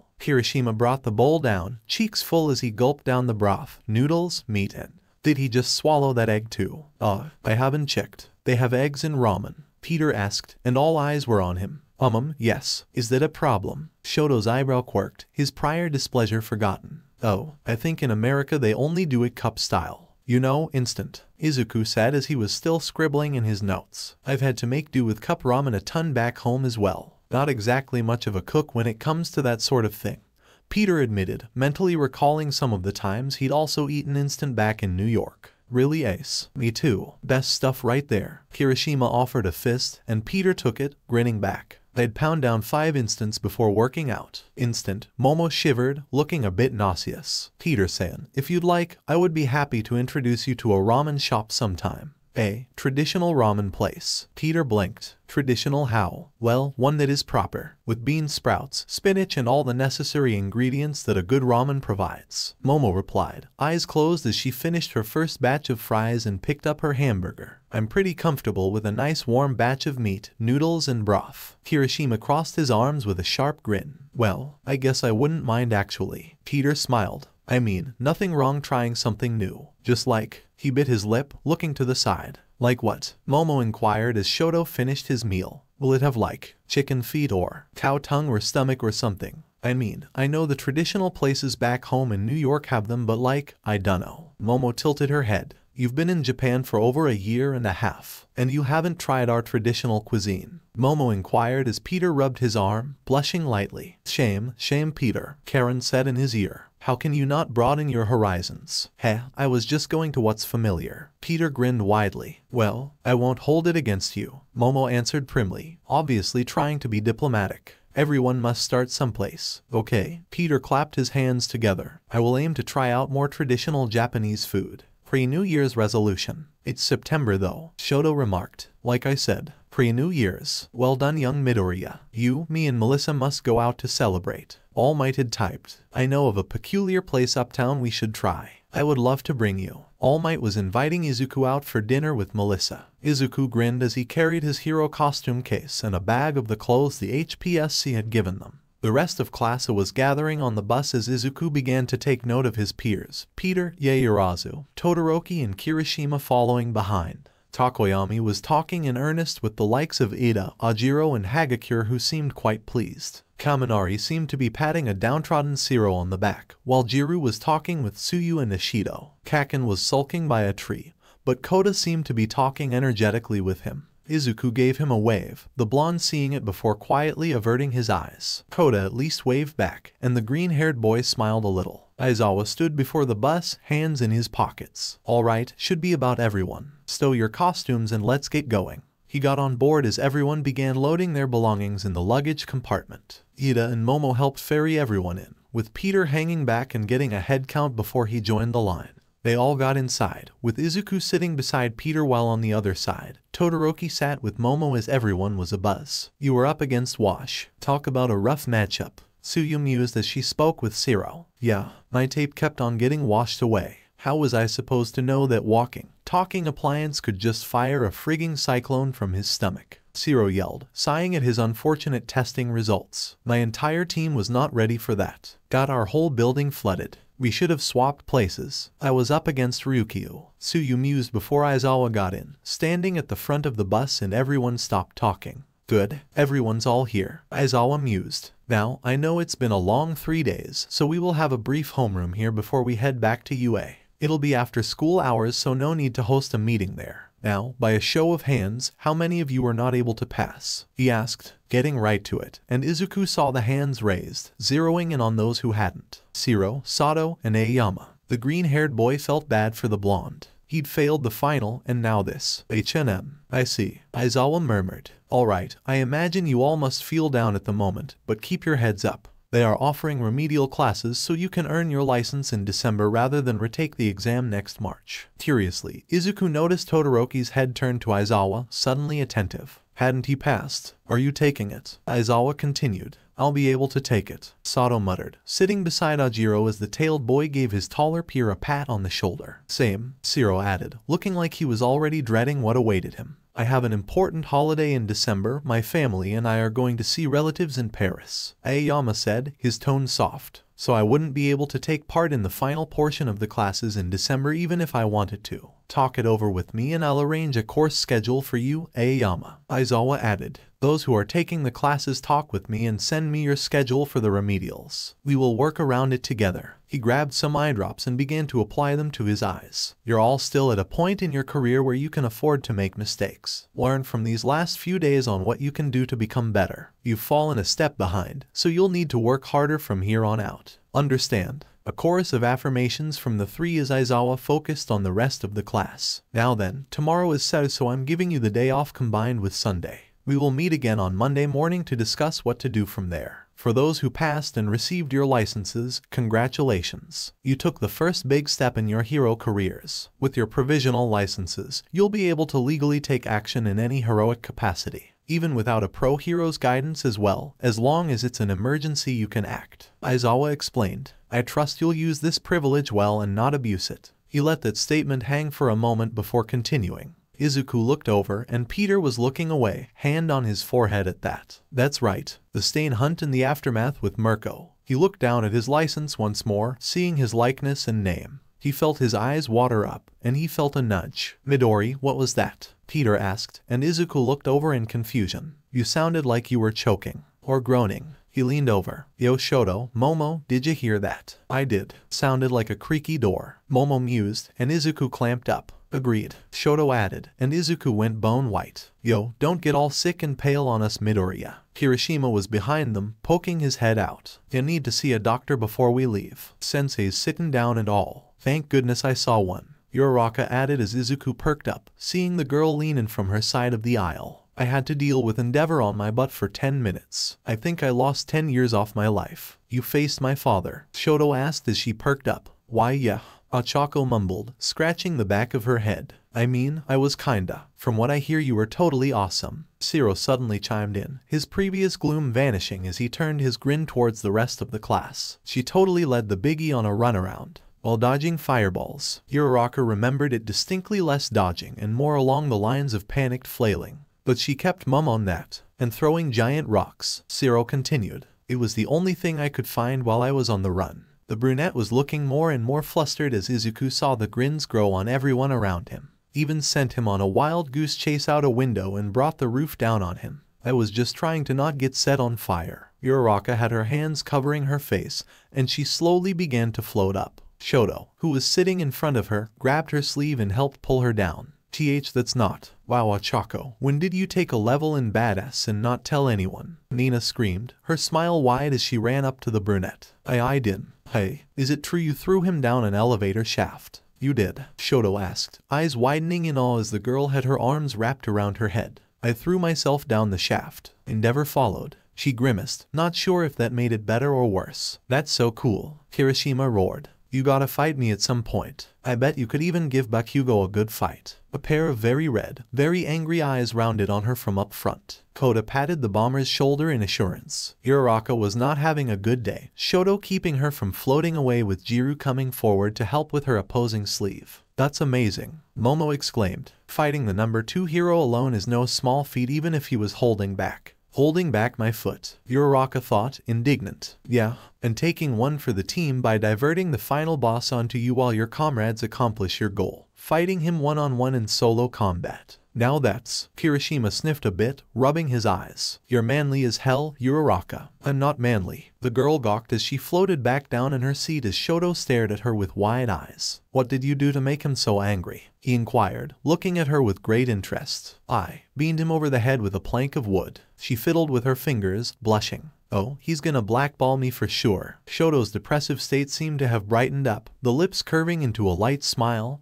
and something escaped his lips. Shoto did you? Just laugh, Peter said, all eyes on Shoto. Izuku himself couldn't believe it. Uraraka, bashing the number two hero in the country with a plank. Oh man, he could never imagine himself doing that to All Might. I, never mind. Shoto took a deep breath, sighing while mentally reminding himself to ask Ochako for more details later, maybe even see if he could get a recording of the moment. Still, you made quite the noise earlier, Midoriya, he said, looking at the green-haired boy. What was that for? Oh oh, I mean, sorry I just... Izuku looked down at his license. I'm just so happy is all. So many people helped me along the way, so... Seeing this, he smiled again as he lifted the license up closer to his face. This is a sign of progress, that I'm one step closer to being the hero I want to be. And I'm just... I'm happy. He sighed, leaning back. Izuku looked down at his license, sighing and beaming. Oh right. He felt the bus lurch as it got moving. I gotta tell mom. Maybe invite her to come out with me and Melissa and All Might too. He mumbled under his breath, pulling out his phone. You're going out to celebrate and eat too. Peter asked. Um, why yeah I am. Izuku looked back and nodded. Where are you going? Local teppan place you knows about. One of my favorite joints actually. Where were you thinking of going? Peter asked, and Izuku opened his mouth to answer as Peter's head jolted, and he was glued to the glass. No way, he shouted in English, and it startled Izuku. He even heard a surprised Kaya. From Uraraka, T. Peter, he gawked, and he heard movement. Is something the matter? Oh? The Lego Emporium. Shoto mused, and Izuku saw it as they left the complex and passed by a massive store of sorts. The largest Lego store in Asia apparently. It was massive, about five stories on a high rise. Izuku could see the giant colorful Lego store and people going inside as he heard a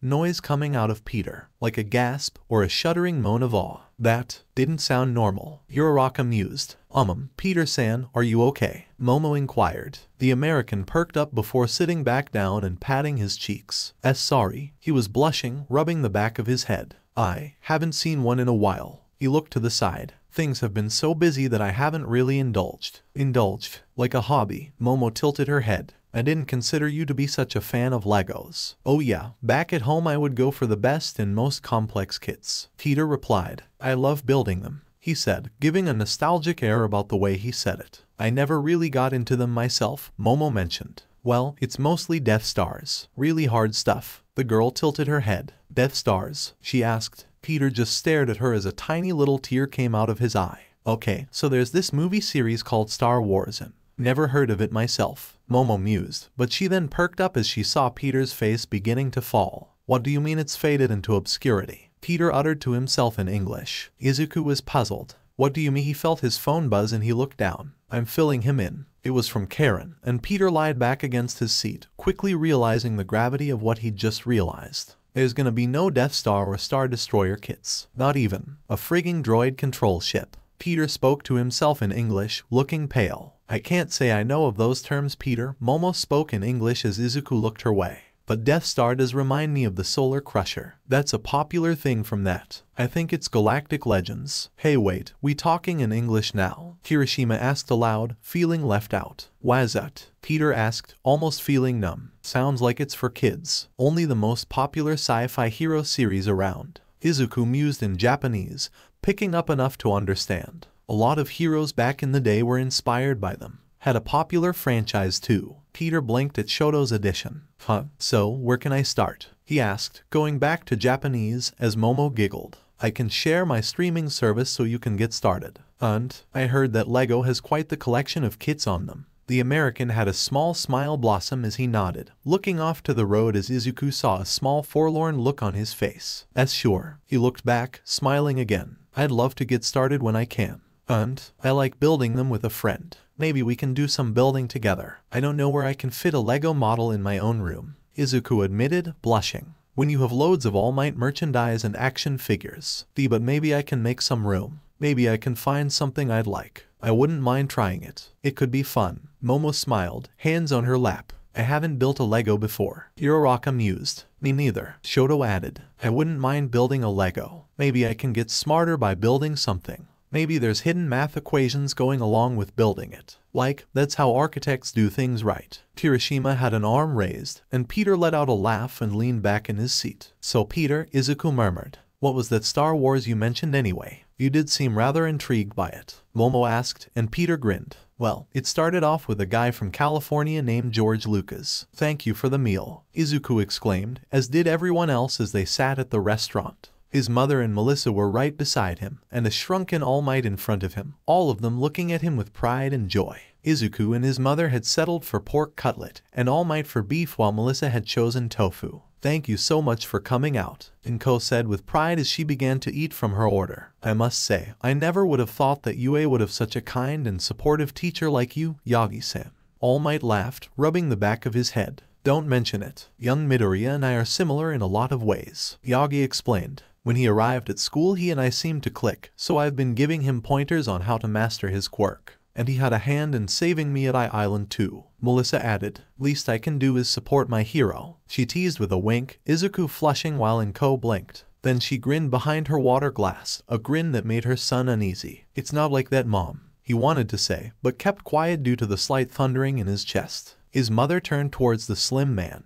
I can't thank you enough for that too, Yagi-san. Inko said before she drank some water. So, you're chaperoning All Might's ward for the day too. Oh yes, Yagi laughed a little. The big guy is always super busy, and Melissa wanted to see how young Midoriya was doing. So he asked me for a favor. He grinned, eyes closed. Guess the number one hero owes me, huh? So he does. To think that All Might of all people would take an interest in my boy. Inko sighed in relief and pride, sniffling a bit. You have no idea what this means for me. Thank you. Don't thank him, just thank All Might, Melissa said with a cheeky grin, to which Izuku responded with an awkward one in kind. I must say though Melissa, how are you adapting to life here in Japan? Your Japanese is exemplary, Inko complimented. But will you be returning to I Island at some point? What will you be doing in the meantime? I'm taking all of my other classes online. I still plan to graduate from my academy, Melissa responded. But UA was kind enough to let me use their support department to work on my gear. Besides, I have a few ideas for support tech that can help Izuku. She beamed towards Izuku, and the boy was beginning to feel warm. I say you two get along great, All Might said, and Inko looked like she was ready to glomp her son while Izuku was looking as red as the top of the soy sauce bottle. My son is such a good boy. His plump mother rubbed her eyes a little before perking up. Oh, let me tell you of the time me and him used to play hero when he was a kid. Izuku paled. M mom, Melissa grinned ear to ear, while Yagi simply drank his teacup in both hands, with a bony pinky out. Oh, what did he do? Melissa asked, eyes wide as she gazed at Izuku with a playful look in her eye. Izuku groaned as Inko laughed. Oh, I would be in a blanket and he would be dressed up in his adorable All Might pajamas. Izuku's groaning was beginning to sound like a creaking door as Melissa giggled incessantly. For what it's worth, Izuku, I wore the same when I was a kid too. Melissa assured him, patting his shoulder on his far side as her chest brushed against his arm. It's alright, trust me, she said with an assuring smile. The creaking door was getting louder as Izuku was looking more akin to a tomato with the hair on his head resembling the leafy stem. All Might could only laugh as Inko began to tell her tale. Izuku would feel a little lightheaded at times but the sight of his mother being so happy and glad, All Might eating with him, and Melissa despite her playfulness being helpful. All of that made the embarrassing family stories worth it in the end. What a day. Izuku sighed as they arrived home. All Might and Melissa went in their own car as he rode with Inko. His mother was pleased as they walked inside. You must be so tired, baby. Inko hung up her coat on the rack as the plump woman looked his way. Your show's recorded too while you are gone. Izuku perked up, turning before looking back to the living room. Oh, is Hero Watch on? Izuku mused. That was one of his favorite shows to watch in order to analyze future heroes and their quirks. He hadn't had a chance to catch it lately. Should be around that time. Inko yawned. I'm going to take a shower. Do you need one first, Izuku? I'll be fine. You go ahead, Mom. I'll watch my show and take it after you. He smiled as he trotted over and plopped down on the couch, turning on the TV. Today on the Hero Watch board, we are going to be going over the top hero student prospects in the country. Host Kaipa Denji exclaimed. The man with dog-like ears stood beside two notable analysts, Kawakami Kayoshiro, a rather bland-looking man with a stern expression, and Hijikata Megumi, a woman with her nose being an electrical socket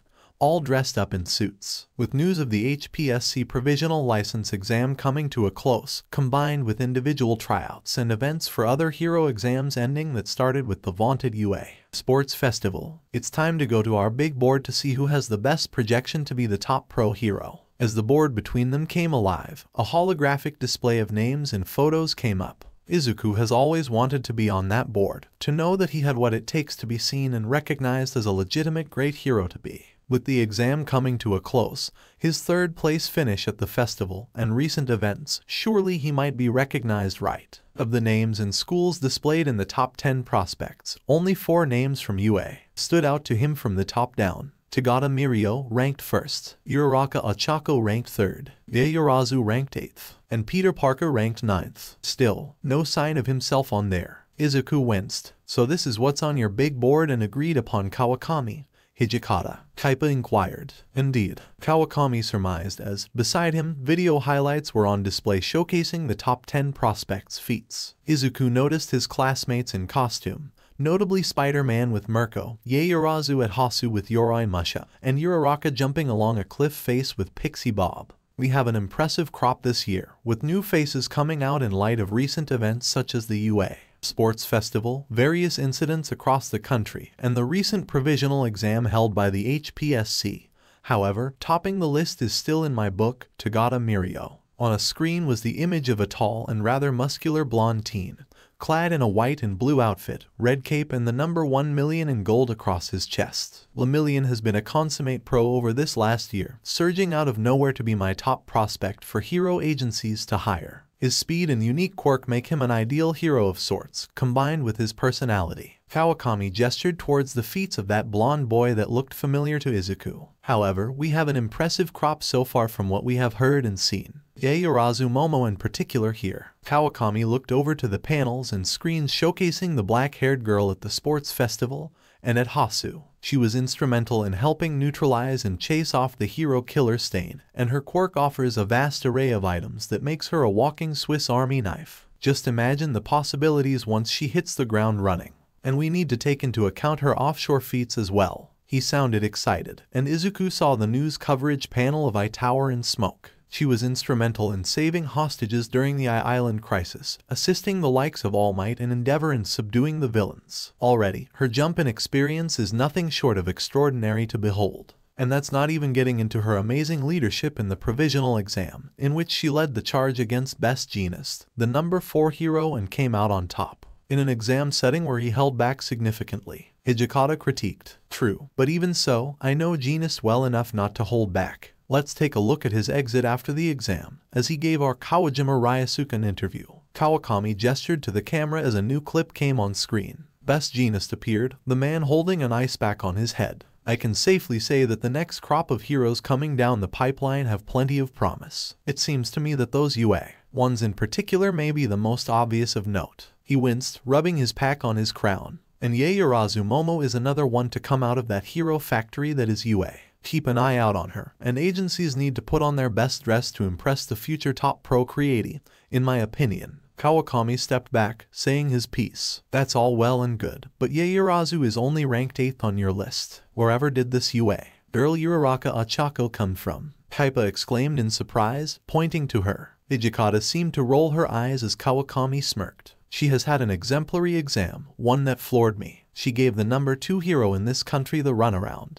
Kawakami laughed. Who gives the number two hero, who never gives half efforts, trouble enough for him to give this interview. The next clip displayed Endeavor of all people marching off. Endeavor, said some journalist, probably that Kawajima fellow again. Similar voice. There's been trending hashtags online of a UA student having defeated you while you were in the position as temporary villain. Can you give us your opinion on this student? Endeavor stopped, turned around and glared at the journalist as if they had insulted his mother before his flames rippled and he took off into the sky. Oh come on, the journalist cried before the broadcast went back to the three people in the studio, Kaipa looking ready to laugh while Kawakami looked smug. I believe he did not deny that. An Endeavor's silence usually resonates as a confirmation from the rumors spreading online from the original hashtag of a sticky armsy 1212. Kaipa acknowledged. Exactly Kaipa-kun. Kawakami said with a snap of his fingers. On top of past research of this student, one Uraraka Ochako, doing well out with the Pussycats several months ago, a hero as well-rounded as this one. A photo of a smiling Uraraka was on the screen. Is just the kind of thing we need in this society. All well and good, Hijikata, but handling a nature park and trumping a hero who was holding back in an exam setting doesn't amount to much. The woman then pointed at the screen. After all, Kawakami-kun, you forget what we do on this show. It's to discuss and analyze who can be the top pro. She gestured to a spread of screens where Lemillion was neutralizing some thugs with blinding speed and Peter acting to stop a van. However, if there's anyone who has an argument to be the top pro, Hijikata stepped up, gesturing towards Spider-Man. It's Spider-Man. His strength and feats have drawn comparisons to an early All Might in his day, and that's not even getting into his sports festival performance. Not to mention that Peter Parker is only a freshman at UA, while Lemillion is a third year. For all we know, he could be maxed out on potential. For someone to be seen as the top pro, they need to have a ceiling that is sky high or he could be a late bloomer. Kawakami countered. Lemillion has undergone plenty of drug busts and villain hunts this last year which is unheard of for a teenage hero sidekick. Suffice to say, he's on a fast track to being a top 10 pro the moment he graduates. Yes, but Peter Parker has the benefit of being inside a strong freshman class at UA. On top of that, he doesn't seem to have that All Might kind of impact just yet. Kaipa interjected before the two were about to argue, Izuku feeling a little emptiness growing within him from the exam. For instance, he gestured to more screens. We have some insider info that Peter Parker, for someone who is being hailed as the next All Might, was unable to really do much against the held-back gang Orca. Is that so bad though? You saw his performance at the sports festival. Hijikata exclaimed. And if he was able to win over MIRKO of all people behind closed doors. Gotta see more. Kawakami mused. Can't be the next All Might if you struggle against the number 11 hero and need backup. Izuku looked at the screen, Kawakami and Hijikata's ratings selling bickering droning out as he gazed at the photo of All Might hanging on the wall in the living room. He needed to become better than All Might, that was true. But right now, where was he? How good of a hero is he? Where was he compared to those high up the ladder? He knew that he needed to take this one step at a time. But to become better than All Might, Izuku looked up, seeing highlights of All Might in action with other heroes. One notable clip near to him was Peter swinging in action when he was with Mirko. He wanted no. I need to know where I am, where I stand next to them.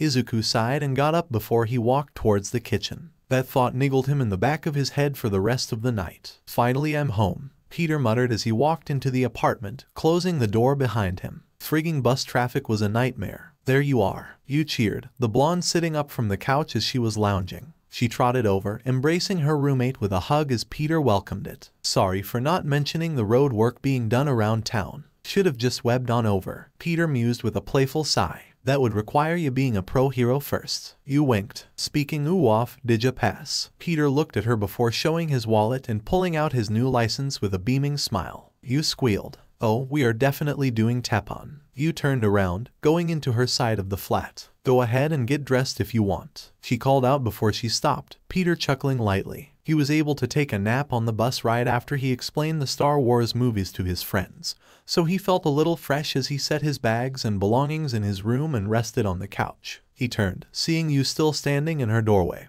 her reaching down towards a countertop and holding a card of some kind. Yu? he asked, perking up as the blonde woman stowed away the card. She looked back at him and she looked awkward. So, ooh, you know what? It can wait till after tap-on. Yu said with a cheery smile that wouldn't fool anyone. Yu, Peter said, what's up? The blonde tapped the card in her hand, eyes flickering before holding it out. Just something that I think could help you. Peter raised an eyebrow, taking a hold of the offered card. A name, an address, certified, psychologist, a therapist. Now I know that this is a little sudden, Yu said, but I think that I need a shrink. He finished, lips curled as he looked back at her. He wasn't angry, or at least he hoped not. Yu winced. I, it's just something to help you get through stuff. I mean, she looked to the side, unsure of how to continue the sentence. Peter took a deep, slow breath, trying to step back and look at this as objectively as he could. She did know of his past. He did tell her back then, after Mirko kicked him out for the stain hunt. Still, I, thanks Yu, he said, feeling a little clammy. I mean it, but I'm fine.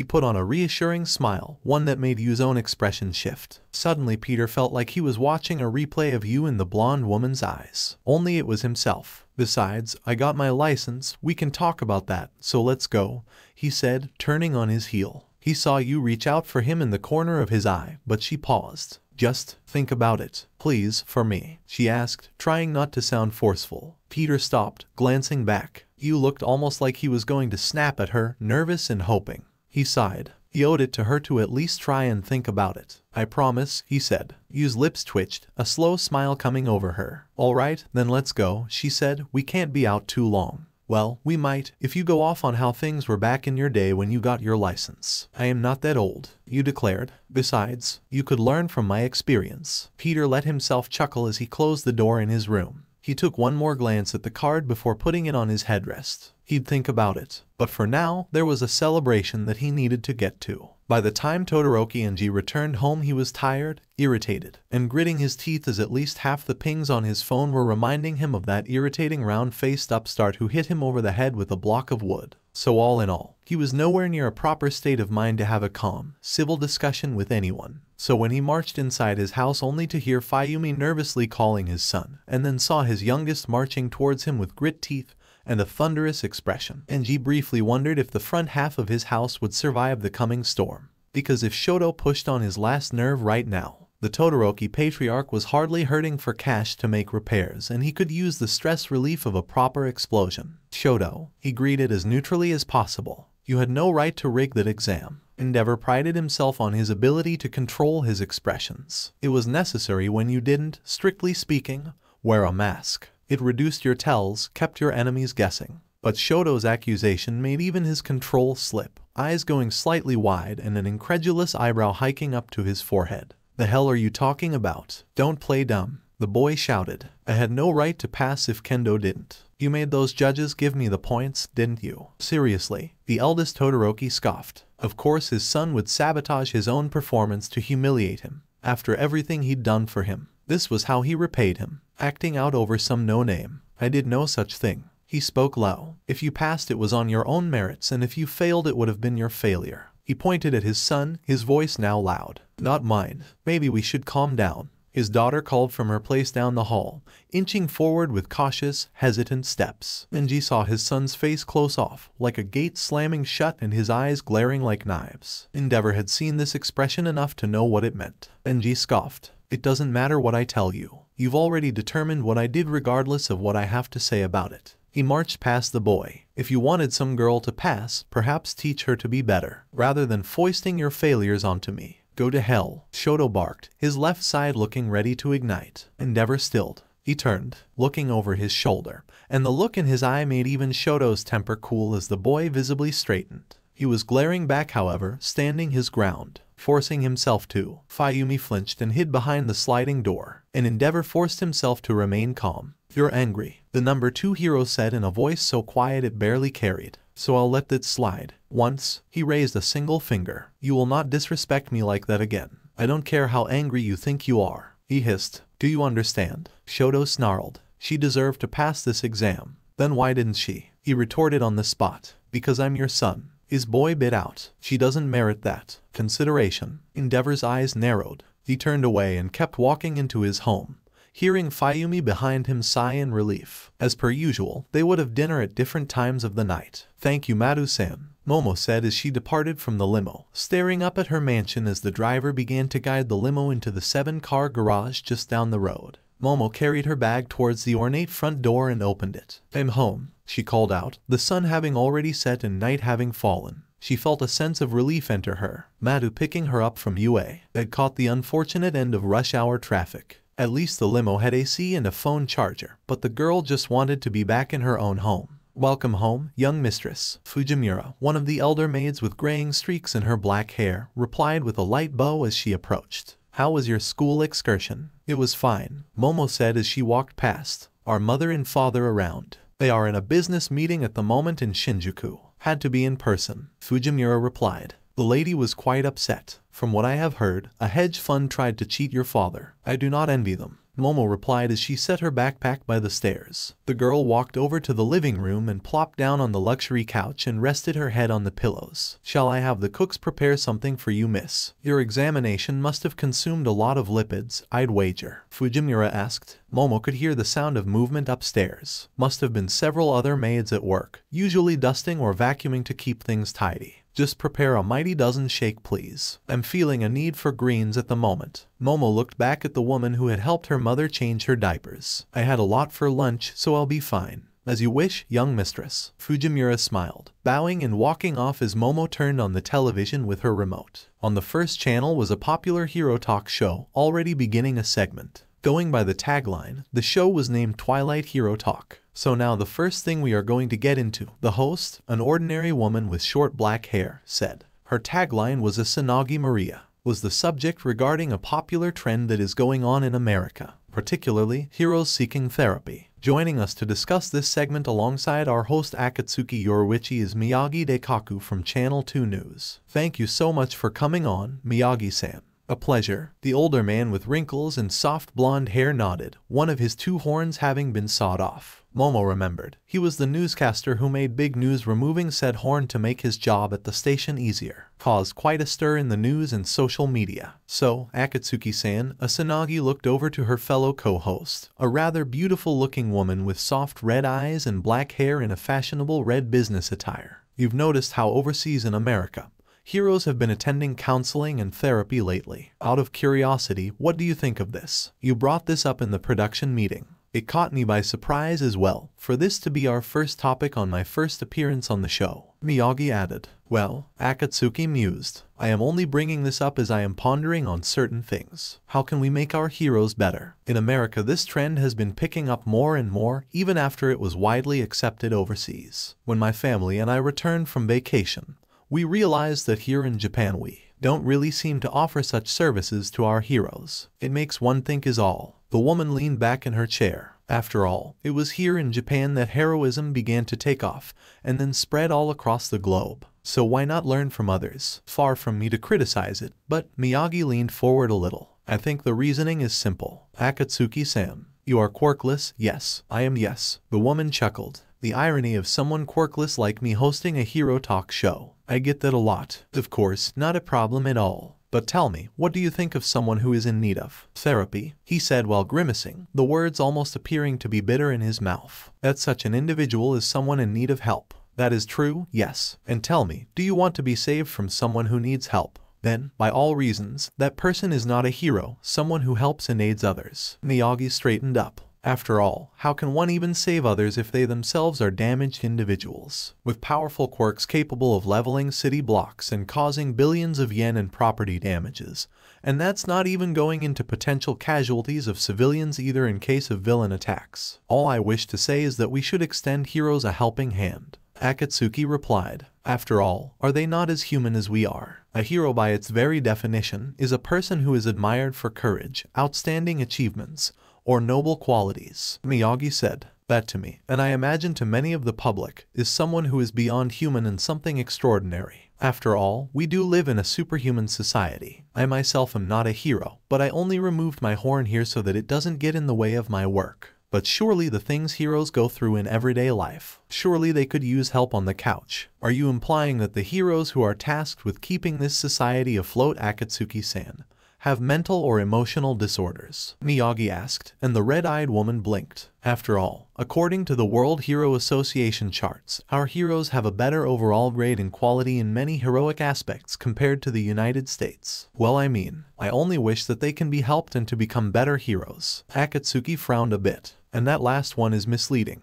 America has over 600 million people so their hero quantity would vastly outnumber ours. I only want to bring this subject up is to ask the question on how we can better help the heroes on the street. which comes from the implication that they themselves are not suitable to defend our citizens and keep order. To me Akatsuki-san, that is a sign of a wireless individual, and that someone, if they seek the things you have described, is not worthy of being a hero. The buzz of her phone caught Momo off as she sat up, reaching into her school jacket pocket to pull it out. It had some texts. Momo went to the remote, changing the channel to the weather. It was from her dad. No doubt responding to her I passed the exam text she sent while on the car drive home. This meeting may take a little while longer. Your mother is eating them alive. It was from father. Okay, Momo replied. Don't let me distract you. Your drink, young mistress. Fujimura came by with a large glass of a deep green juice filled with a combination of various spices, fruits, and vegetables. Thank you. Momo took it and leaned back with a sigh. It felt nice to relax at home every now and then. After a moment she perked up. Oh yes that's right, I need to set things up. She got her phone out, going to the group chat and spotting Peter in it, tapping on his icon and going to FaceTime. The phone buzzed a bit, and there was Peter sitting at a restaurant. Hey Momo, Peter said as Momo chuckled a bit. Hello Peter, are you out at the moment? Should I just text you? Oh oh, who's that? Came a voice on the other end of the call. Peter blanched a bit as someone came into view. Momo spotted a young woman with blonde hair. Oh, that's your cute classmate isn't it? Your class rep partner. The black-haired girl blushed deeply, and Peter got out of the woman's sight. Seriously you, he sighed, angling it away from the older woman. Should I call back? You're out to dinner with Mount Lady, right? Yeah, celebratory dinner. You on the couch. I recognize that cushion Kirishima used for his nap that time we hosted a study group. Peter said as Momo smiled lightly. It is. Comfy as ever too. Momo saw some flame and laughter in the background. No doubt one of the chefs doing his onion volcano for his patrons. By the way Peter, you said you wanted to try out traditional ramen at some point this weekend. She asked, which day would be fine with you? On Saturday I'm gonna be working on my gear at UA.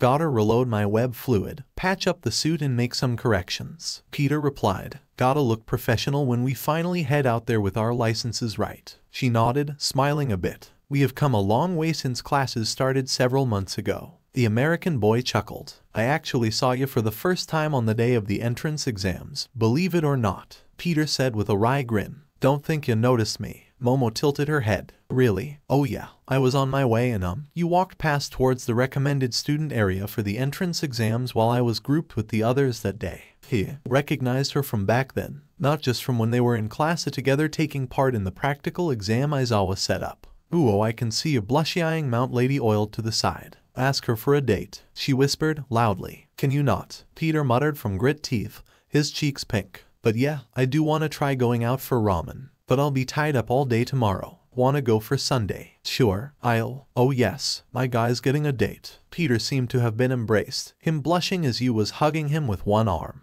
And going with friends to you. See that is indeed true Mount Lady, Momo replied back, a little flustered. Of course, of course, whatever you say. Yu let go of Peter as the boy looked back at her. I'll keep in touch via text. He gave you a light side eye. Momo nodded, smiling. I'll get in touch and sort things out. I'll see you around Peter. You too Yaomomo. Peter smiled as she hung up and got to texting it. Wait, she called him Peter, not Peter-san. Momo put that realization to the side, her cheeks warm. Sam, add the sand next time. So alright folks that's all for today. Stay tuned for part 22. Do subscribe, like and share for more such videos. Press the bell icon to be notified first on release. See you in the next video till then goodbye.